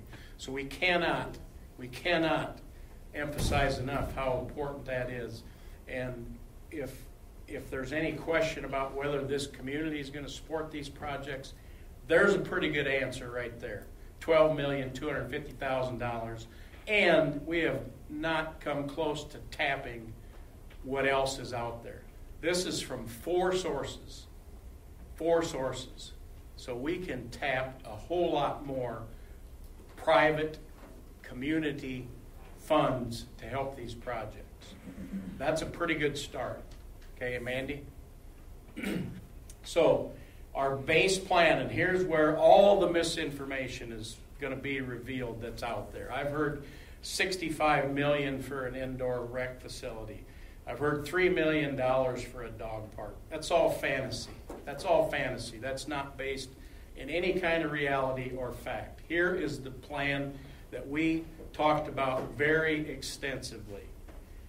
It's a $45 million plan. And with that, under that plan, we do not raise property taxes on our $45 million plan. How are we going to generate the $45 million? $22 million will come from the city of Pella, and that is done in two ways. Number one is a $17 million. Do I have a slide that? Uh, yeah. So how are we going to pay for the 22 million? That's the question that you as citizens need to be concerned about. So we're going to we're going to use five and a half million dollars or five million from fund balance that we have. This is cash that's sitting in the bank that the city has that's undesignated, unearmarked, and so we will take $5 million from our existing fund balance to, to invest in these projects. The second part of the city's investment is the $17 million bond that will be issued backed by the local option sales tax. And it'll take 50% of the local option sales tax over the next 20 years to pay that bond back. We've had our bond counsel do it. He's factored in interest rate hikes. And so that bond will be paid back by local option sales tax, not you guys, not property tax owners. It'll be sales tax revenue. Okay? So that's where the city's going to get our $22 million for the, these projects. And then to get to our 45 million, obviously, we need more money from other sources. Okay? And we're working on those. We, as I said, we have $12,250,000 that's already pledged for these projects. So that's a pretty good start. Add that to our 22 million. We're up close to 35 million of our 45 million. We're talking with the county about working with us on some of the road project. We're talking, we have applications ready to go for the state of Iowa. There's several grants out there. And, and as I said before, we've only tapped the surface of potential uh, community uh, uh, donations. We have a lot of people still to talk to that I know will step up. So, 22 million. That's the city's investment. Don't believe this 65 million, this numbers that are thrown out there. 22 million is what the city in our plan has talked about committing to. What are we going to do with the 22 million? 31 million, can you go back, Mandy? 31 million is earmarked for the indoor rec facility. That number was arrived at based on a facility built in Marion, Iowa in 2020, I believe, or 21, factoring in some inflation. And so we're earmarking $31 million for the new rec center. 65 million, the number I see in here, is fantasy. It's crazy. No one has said $65 million. We've talked about 31 million. Obviously, the size and the scope and the scale of the project will be dependent on costs. And prior to this group approving anything, we will have solid cost estimates before we start any project. Maybe it's not as big as we think want it to be, whatever. We will only build what we can afford to build. Six million dollars is earmarked for an extension of University Street uh, to get out to the sports park. Whether we do an indoor facility on the sports park, this is much needed uh, extension anyway. I don't know if you guys go to soccer matches. I have got a couple granddaughters that play soccer on Saturday morning, and it's a traffic mess when uh, when we're moving from the 8:30 to the 10 o'clock because there's people coming and going. So we absolutely need a second exit out of our sports park. The other thing that the extension of University Street will do is allow us to put in a bike trail that will come out of the middle of the city of Pella to the sports park. We have a ton of kids that want to ride their bikes out there. There's no good way to get there now. It's dangerous. You're, uh, you're on uh, roads with a lot of traffic. So by extending University Street, uh, it will allow us to get a bike trail so kids can bike out to our sports park, which gets used a lot. Uh, and then the other uh, five and a half million is that's the minimum investment we've talked about to upgrade the uh, the community center. Obviously, the community center has been kicked back and forth for a long time. We want to we want to do it something. There's a group out there that have worked very hard called the Friends of the Community Center that have done some fundraising. So, at minimum, we are pledging five and a half million for that renovation. Whatever they can raise above that will determine what we can do with that facility. But we're committing to get it at least in a usable fashion because right now we know there's part of it that can't be used. uh, because uh, just some infrastructure issues and those kind of things. So our best estimate was five and a half million to get those infrastructure. And then 25, 2.5 million of contingency built into the plan. So that's the 35 million that, the, that's the only message the city of Pella has given. We, no one has said anything about a $60 million uh, uh, rec center. None of those numbers are reality. This is what we've talked about in presentation. And again, there's our funding sources, 17 million of the bond that is backed by the local option sales tax. And I just want you to think about what that really means. How many of you have uh, bought a house and paid cash for it every time? No, not likely. You went and got a you went and got a mortgage to pay for it. What does the bank want to know when you get a mortgage? They want to know how you're going to pay it back, right? That's that's what matters in that situation. This is the same way. We we issue a 17 billion dollar bond to do these projects. How are we going to pay that back? We're going to pay it back with 50 percent of the lost revenue from the extension uh, over the next 20 years. That will be enough to cover the bond. The other 50% of the lost revenue is going to be spent exactly the way it's spent now. It's going to be spent on infrastructure projects, which we've talked a lot about semantics and those kind of things. But whatever we spend on infrastructure from the lost revenue is property tax money we don't have to raise. And so it's, it's, you can call it what you want, but by spending that money, we will, are not going to consider raising property taxes. And I mean, I think the city of Pella has a pretty solid track record 21 years of no property tax rate increase. Again, we've had a discussion. That's the only thing we can control. Uh, this group can control. Valuations and all of that, school tax, county tax, that's, you know, it's all lumped into one number that you pay your property tax. And so it's really, property tax is incredibly confusing. But the only thing we can control here is the rate. We don't control valuation, so we don't control what you pay. If your property tax goes up 10% next year, it's not because of anything the city of Pella did. It's a valuation issue. And so that needs to be very clear. As I said, we're working on the other 23, well, part of that 23 million is the 12 million. We actually started with 12 million from three entities, and I actually had somebody stop me on the street one day and said, we'd like to contribute $250,000 to this project. So I don't know how much, how much evidence of community support for a project like this people need, but that's pretty impressive to me. So we have 12,250,000 pledged now. Okay, is this it?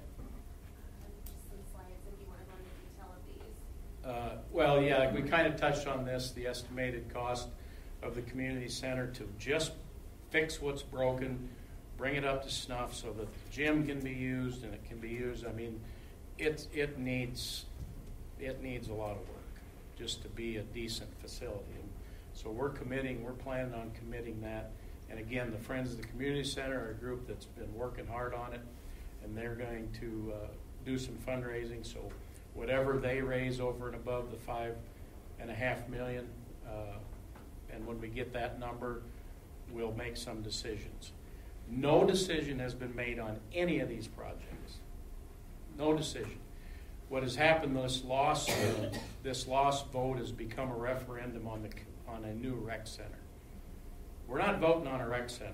We're voting to extend a lost revenue for the city of Pella. This is a critical funding source for the next 20 years.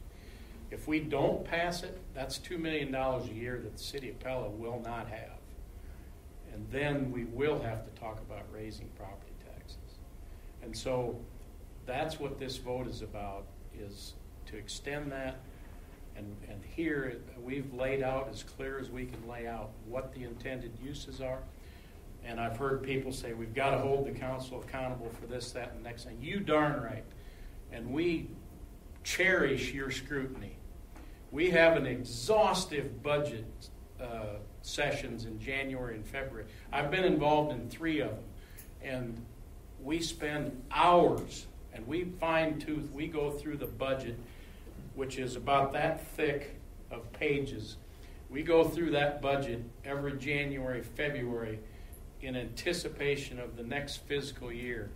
And so you as citizens have every right, and you should, you should ask us, why are we spending this money here? Or what are we spending this money on?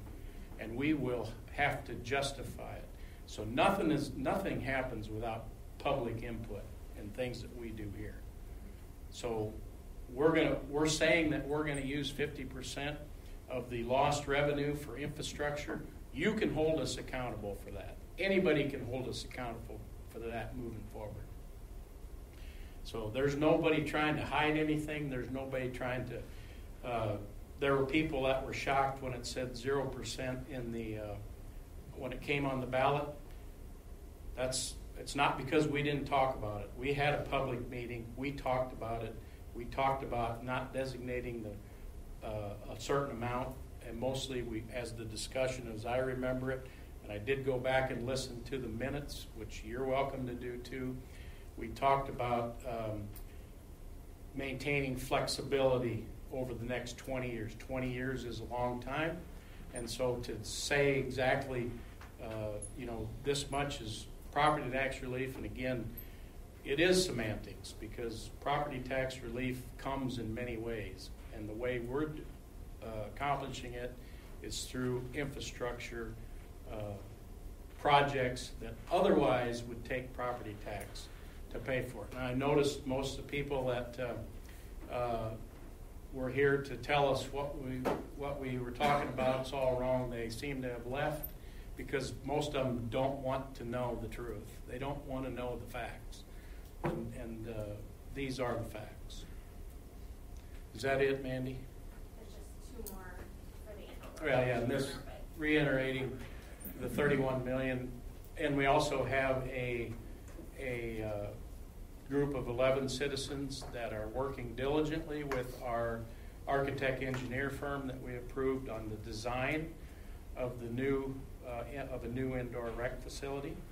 They've done some great work. There's uh, some uh, really cool stuff that they've, they've talked about. The, the group is a diverse group of basketball, volleyball, swimming. Uh, you know, somebody talked about uh, uh, there's a dan- you know dance. Somebody from dance, uh, soccer, all the sports, all the potential uses. Somebody talked about the senior citizens. There's a beautiful design for a walking track that our senior citizens would love in the wintertime. They would, you know, I see people walking in the Molengracht parking garage and those places. A nice walking track would, would work very well for, uh, for those kind of things. So this facility will be designed to meet all of the needs of a diverse population. Uh, obviously, we can't be everything to everybody, but this group is working hard to do their best. And from the reports I get, I've stayed out of it. I don't go to their meetings. I want them to design it. From what I understand, they've made some great progress, and uh, they feel good about it. Um, and yeah, just the proposed site we originally threw up there uh, was out at the sports park. We think that's a great location for it. Uh, consolidate all of our athletic facilities uh, and all those things. So that's a, and we have the room. We have plenty of room to get it done there. So that general vicinity, I think the the current iteration of what will be there is configured a little bit different, but that'll be the general general area for the for the facility. So, I said I'd take any questions after my discussion, so please, yes. I, I know I had something to speak about earlier. I'm going to thank you. I feel that your presentation is about two months too late. I, I mean, I appreciate what you said. It's been the most convincing for myself as a concerned citizen of how we're going to pay for this.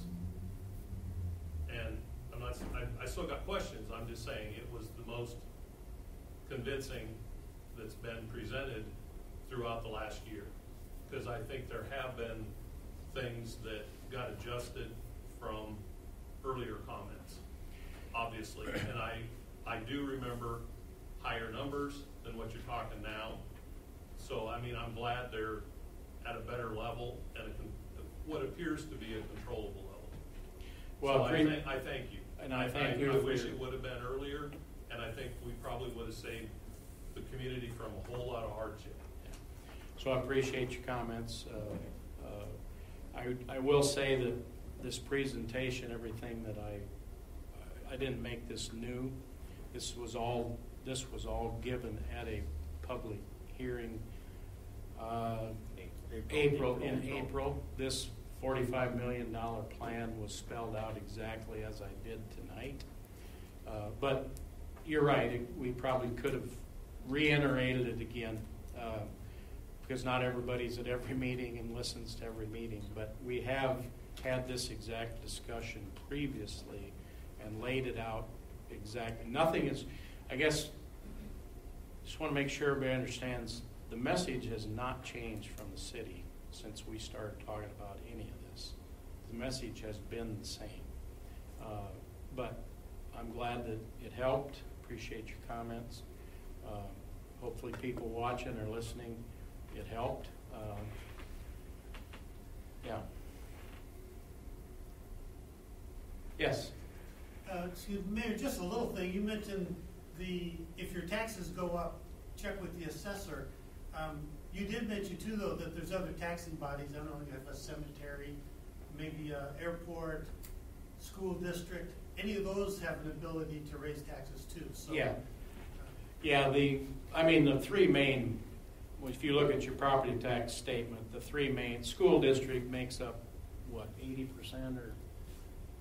School district is Is a the- big. is a majority of the- Is a majority of the tax. The county and the city are the three, and then yes, there's, oh, I know there's like drainage assessments and other things that happen. But from the city of Pella, the only thing we can control is the rate. That's the only thing we have control over. Uh, You know, I had a, I got an email from somebody the other day, said that if they vote yes for this uh, tax, their property tax, their property taxes are going up twenty-four percent next year. And so somebody must have told them, somebody must have said it. I have no idea where it came from. I kindly asked, I kindly told them that their information was incorrect. If, I'm not saying their property tax won't go up twenty-four percent, because it could based on a valuation increase, but it's nothing to do with this particular vote. And then I asked them to convey to their source, please stop telling false, please stop giving out false information. But anyway, those are kind of things that people are emailing me and asking me. And uh, so I think somebody had a, I just had a question about, um, the soccer complex. Is there a plan that we're keeping our existing soccer complex as is and utilizing that, or is there going to be a plan, something changing over there? Uh, We, we have, yeah, we have talked about potentially moving. I think that's something we would like to do, but we don't have any imminent plans to do that. We think from a city standpoint, it would make a lot of sense. We have, we have enough ground here to do that. The other thing is, we just spent one point seven million dollars on the road around that soccer complex.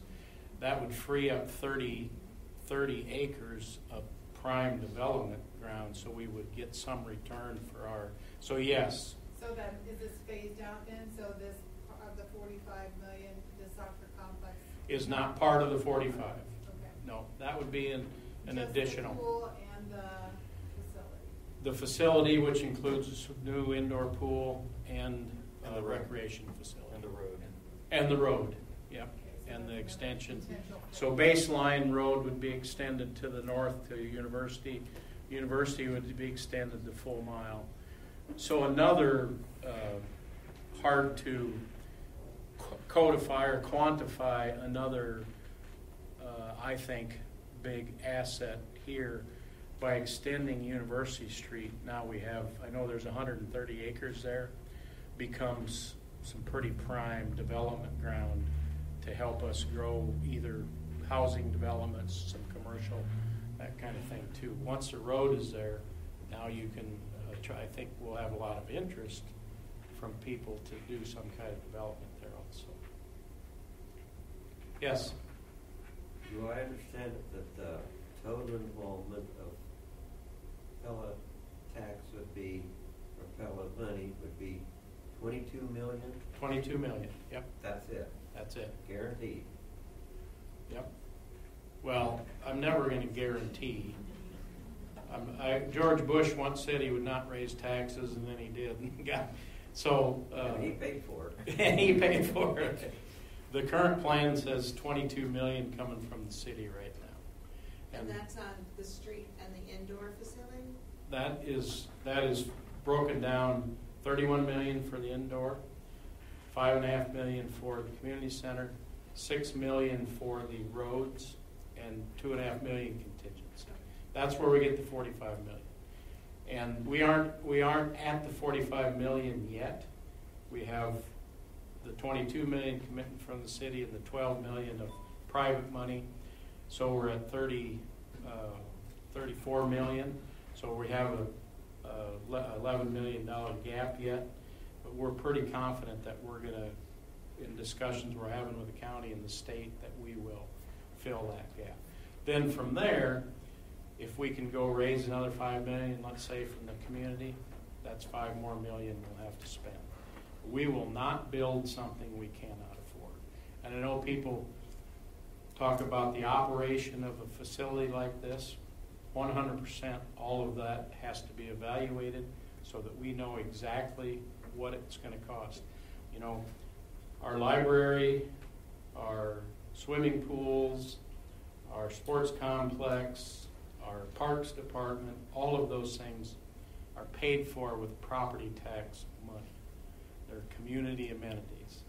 And so this facility would be similar to that, a community uh, facility. Uh, But we will know before we ever approve uh, building it, what our estimated operating cost is to the city and whether we can handle it in our budget. Just like we evaluate the library and everything else. Be no different. Yeah. I think that might be some confusion too, because there are no definitive numbers or details Right. for us to see,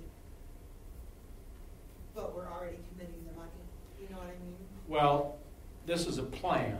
We're not committing, no one has voted to do any of this. We still have But to do all the approvals. But on the ballot, that rec center is in that. That's a potential use, yes. There's a whole list of potential Yeah, yeah. uses and the rec center is there.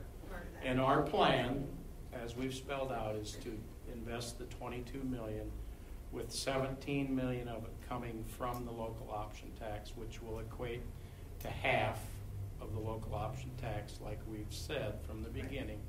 Fifty percent to be spent on amenities, community projects. And, and those will all be separate votes here. Yes, And yes. Separate discussions. Everything here will votes. need, will need, uh, have public hearings, public input. The, you know, the question about the operations, until we have a pretty solid, uh, idea of what we're gonna have, it's hard to estimate those operating costs and expenses. We are, obviously, there's a lot of communities that have these facilities, so we have a lot of data to draw from. Uh, So I think we will, when we actually get to approving any of these projects, we will have a pretty spelled out uh, pro forma of what this facility will cost to operate. And a couple of things that are kind of a sidebar, I'm sure Jeanette would support this, is our existing indoor pool has just about hit its useful life for any of you that use it. And also, we, we need to be making investments in the current soccer complex. It's also been there a long time. So not a bad time to be looking at All right, anybody ha- have any more questions? Thank you for, oh, yes. You say that these are plans, how rigid is that plan? I mean, you say five point five for the community center, what's to keep you from switching that to the rec? Well, I suppose nothing, because the council makes all those spending decisions. Right. So yes, that, I mean, that's, that's what we have discussed, and that's what we, you need to hold us accountable.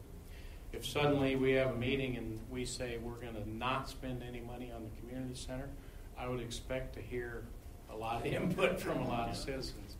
But does And- that input do any good? Well, I would think it would, yes. Does every So- November. Huh? It does in November. Yeah, uh, you can. We're thinking. You can elect, you know, so yes, we, as I said, we uh, welcome any scrutiny of what we do. Uh, we, because that's the best way, that's what citizens need to, to make us accountable for how we spend money. That's, that's really, I think everyone would agree, that is probably the biggest task we have as a council, is our finances, the city's finances.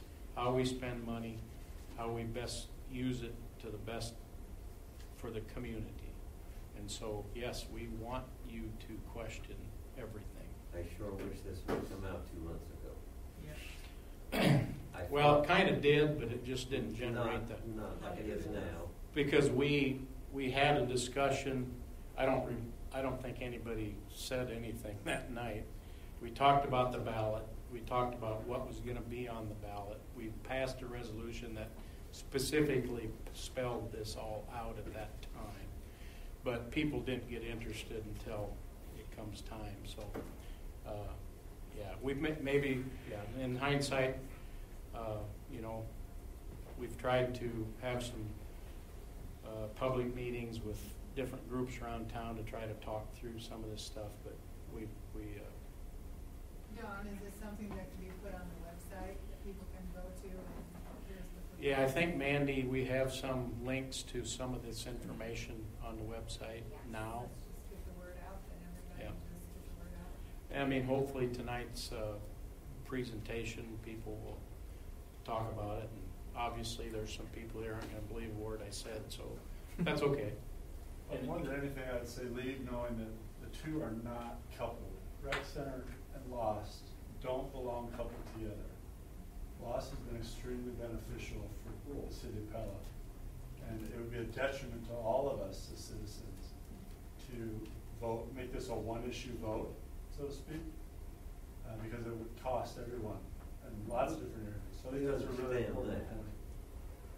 But why couldn't have waited till next March or whenever, your six months or, uh, Right. and get all these figures in front of us so we know? Yes. But we knew nothing. All we see was a zero. Can, A can, uh, zero. That is this- means nothing. Is this something that you guys who are connected, is this something that you can help us with? At least, uh, share the information that the mayor shared? Is that something now that, whether you agree with the information or not, is that something that you can help with to share with your folks? There you go, video, exactly. Social media, put it out Yeah. over social media to people to. But I, I do think at the end of the day, it's important so that we don't get people panicking, that the lost tax, if, if it is voted down, if we don't lose that money. It just means we go back to the drawing board. Mm-hmm. And I think that's a big piece, and it's designed that way. That's why it's designed as it is. It's so that every six months, if, if there's something we need to tweak, we tweak it, and then we revote. Now, the only time you would lose that amount of money is if you don't pass a lost tax ninety days before its expiration date. That is the only way we would lose that money. And that's why the last vote is September twenty twenty-three, because that's ninety days before the expiration date, which is twelve thirty-one twenty-three. We Yeah. understand all that. So, I, I, I just don't want But- people to think that, oh my God, we're gonna lose all this money. But I, I think a lot of people do think that if it gets Voted down. no now, then we just don't have the loss tax. And they- No, no. So, The one, people that one, are against this, they don't, yeah. they don't want no loss tax. We understand the importance of that. Right, right. I think from a timing standpoint, I know people have asked why we're doing it now. Well, no, one, there's a few reasons, but one of the reasons is the rest of Marion County has already passed their lost and extended it. And Marion County is really nervous. The, the Bussey and Twin Cedars and Melcher Dallas, or uh, all those smaller communities, Pella generates a big majority of the sales tax revenue in this county, and that gets redistributed. We don't get everything back that we collect. We only get a portion. So the rest of Marion County is somewhat dependent on Pella uh, generating the, the lost revenue too. So uh, they've already all extended theirs. We're the only jurisdiction left that uh, hasn't, hasn't voted to extend. So that, that's part of the reason why we want to get it, get it done so we can plan and we know, we know what, uh, that we have in place. Okay? Thank you for your indulgence. Uh, We have one more item to work on here. So we will move into a policy and planning to talk about the Bos Landen Conference Center repairs. Yes, Mr. Mayor, and as Mayor DeWaard stated, uh, the purpose of this policy and planning session is to discuss potential repairs to the Bos Landen Conference Center. It's important to note, back in 2020, uh, this facility suffered significant water damage due to a frozen water pipe on, on that. And as a result, um, the conference center that we have pictured right up here, the front of it, has been closed since early 2020. Little bit of background on this. Previously, uh, through the insurance company's authorization, we did hire Klingner and Associates to review what the cost would be to totally repair the facility. Those plans have been prepared and now are under consideration and been reviewed by, rather, take a step back, have been reviewed by the insurance carrier. And what we're going to be talking about this evening is what the insurance company has approved for reimbursement for the project and potential options for repairing the facility. So let's go ahead, Mandy, please. Now, a couple things to keep in mind. When the water damage first happened at the conference center, um, EMC, who is our insurance company, issued a payment of $469,000 for the, project, and at the time it was based on the estimated valuation of the facility, less depreciation.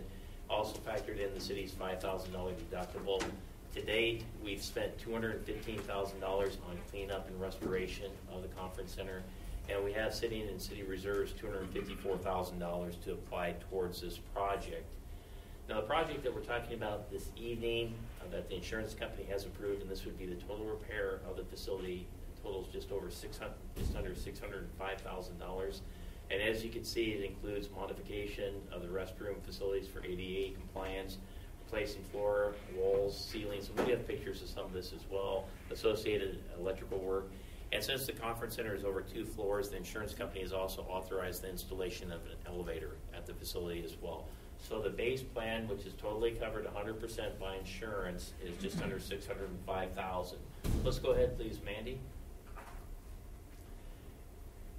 Now, what we also have, in addition to the items that were water damaged, and I would say the majority of these items just normal wear and tear on, on the facility. The facility was constructed somewhere between the mid 1990s to late 1990s, early 2000s. So some of these items are showing their age. But we do have a list of alternatives that total just under $154,000, and these include replacing windows, uh, replacing damaged flooring and wall covering in the kitchen area, and also adding a family restroom on the main floor of the conference center as well. And we do have some pictures throughout um, the presentation, so Mandy, let's go ahead. I'm actually going to call on Jeanette Vaughn. I know, Jeanette, I'm putting you on the spot, but could you walk us through some of the areas that we have for alternates that you have as far as the pictures up here, please? So the, the previous slide was the window sills both in the lower part of the building and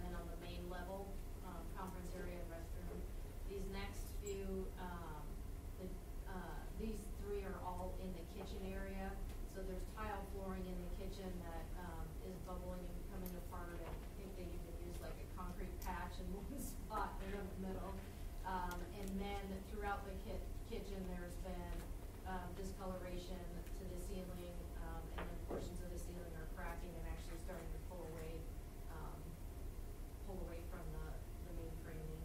And then on the right, uh, picture, that's an existing storeroom that we've identified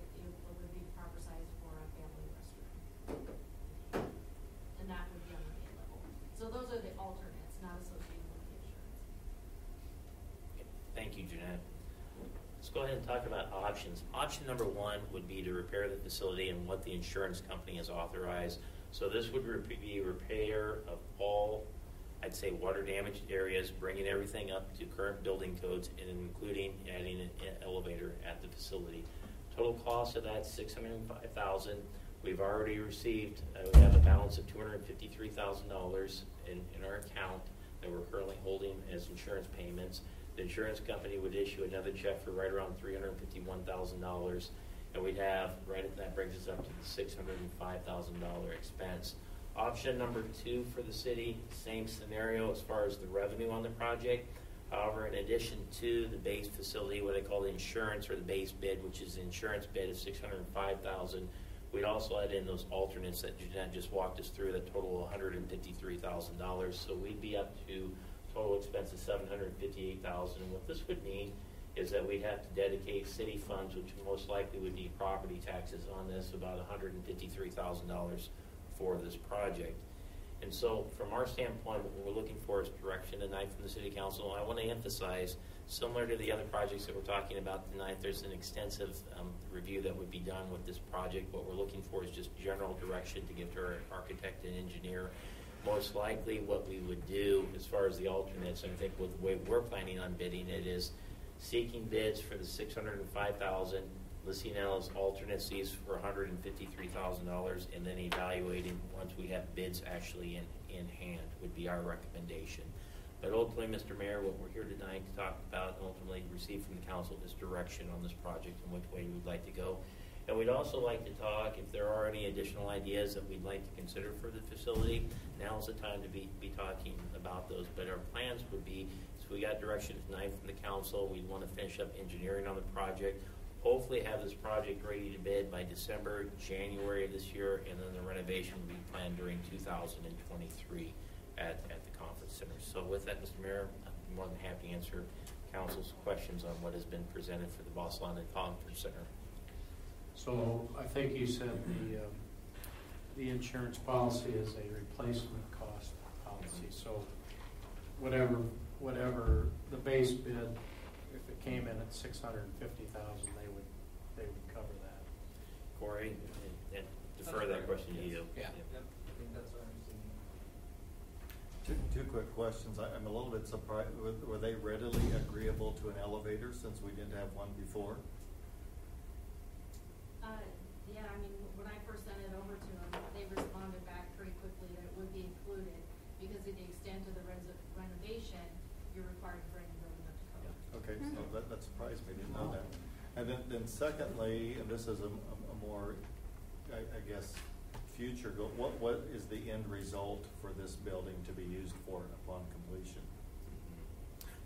What we had, and I'll take a stab at that, and I think that's part of the discussions that, that we'll be entertaining with this project is determine the ultimate use. What it was used beforehand, and this would have been by the golf course operators when the city contracted for that. The conference center, we actually had a restaurant, and at one time, um, on there, a couple different restaurants over the years, probably multiple restaurants through the years. And then the conference center itself, outside of the restaurant use, was lu- used for rentals of the, of the, of the facility. Um, the Bos Landen Golf Course was a very popular place for all sorts of rentals, weddings, um, high school graduation parties on it as well, but that was profitable. And we also hosted business meetings as well with the conference center. The lower level at one point in time was actually multiple uses. There used to be a separate bar area on the lower level. In addition, that turned into a workout fitness area at one point in time. And then the latest use that we had down there was the golf golf simulator use that was in the lower level as well. So they've always been, I'd say, auxiliary uses that were intended to su- uh, support the Bos Landen golf golf course.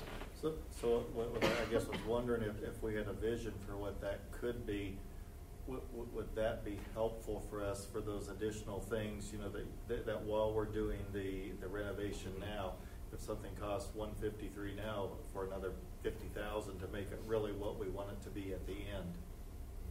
Is, you, do you see what I'm saying on that? Yeah. You know, it, it'd be better if we could, if, if we knew where, where we wanted to be when Jeanette tells us what we want that to be. Mm-hmm.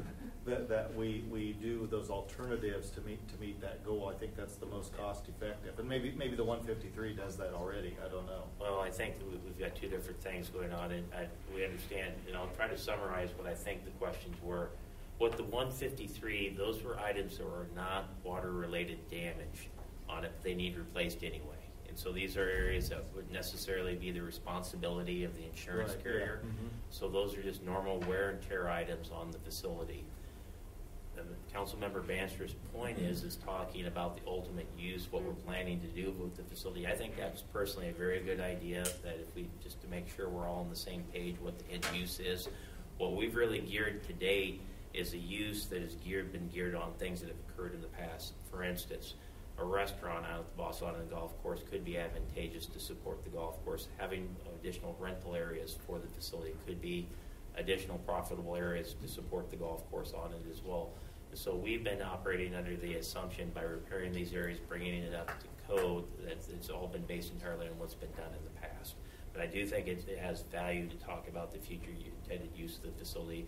If there are any significant modifications from what's been done in the past, we should be planning for them now. So that's a very good point. And these are uses that don't necessarily have to be city-run. We could finish it to white box and put it on the market to lease out, correct? That, that's always an option, yes. Because an elevator alone makes it Yeah. highly more Yeah, that, than a low level. that really enhances the potential uses of having an elevator. So does the base get it to white box rentable? Or does the one fifty get it to white box rentable? Well, the base, um, uh, uh, Councilmember Carl Stonewood, option number one is, this is a replacement and bringing up to code all the areas that were damaged by the water, water damage, which is mainly the conference center, and I, I call it the lower former boss bunker area on the facility. But is that finished, ready to be rented? So That we brings it up. and open a business up that day once it's finished? Well, we believe the conference center is. Now, as far as the one fifty-three, I think what we'd be looking at in the areas, on some of the other areas, probably if we're looking at a restaurant, there's likely kitchen improvements that are above and beyond this if we wanted to have a restaurant back in the kitchen area. Those would be items that we'd be happy to talk about. about, And I think Councilmember Bandstra's point is looking at really the intended use, the uses that we want to look at the facility, and then we can target those through this repair. Th- th- I guess that's what I was Well, thinking.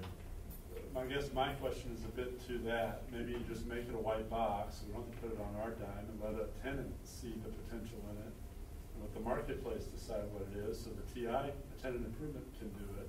If it mm-hmm. wants to be a fancier restaurant than the white box, or whatever, you know what I mean? In other words, I don't know that we have to come up with the, the end point.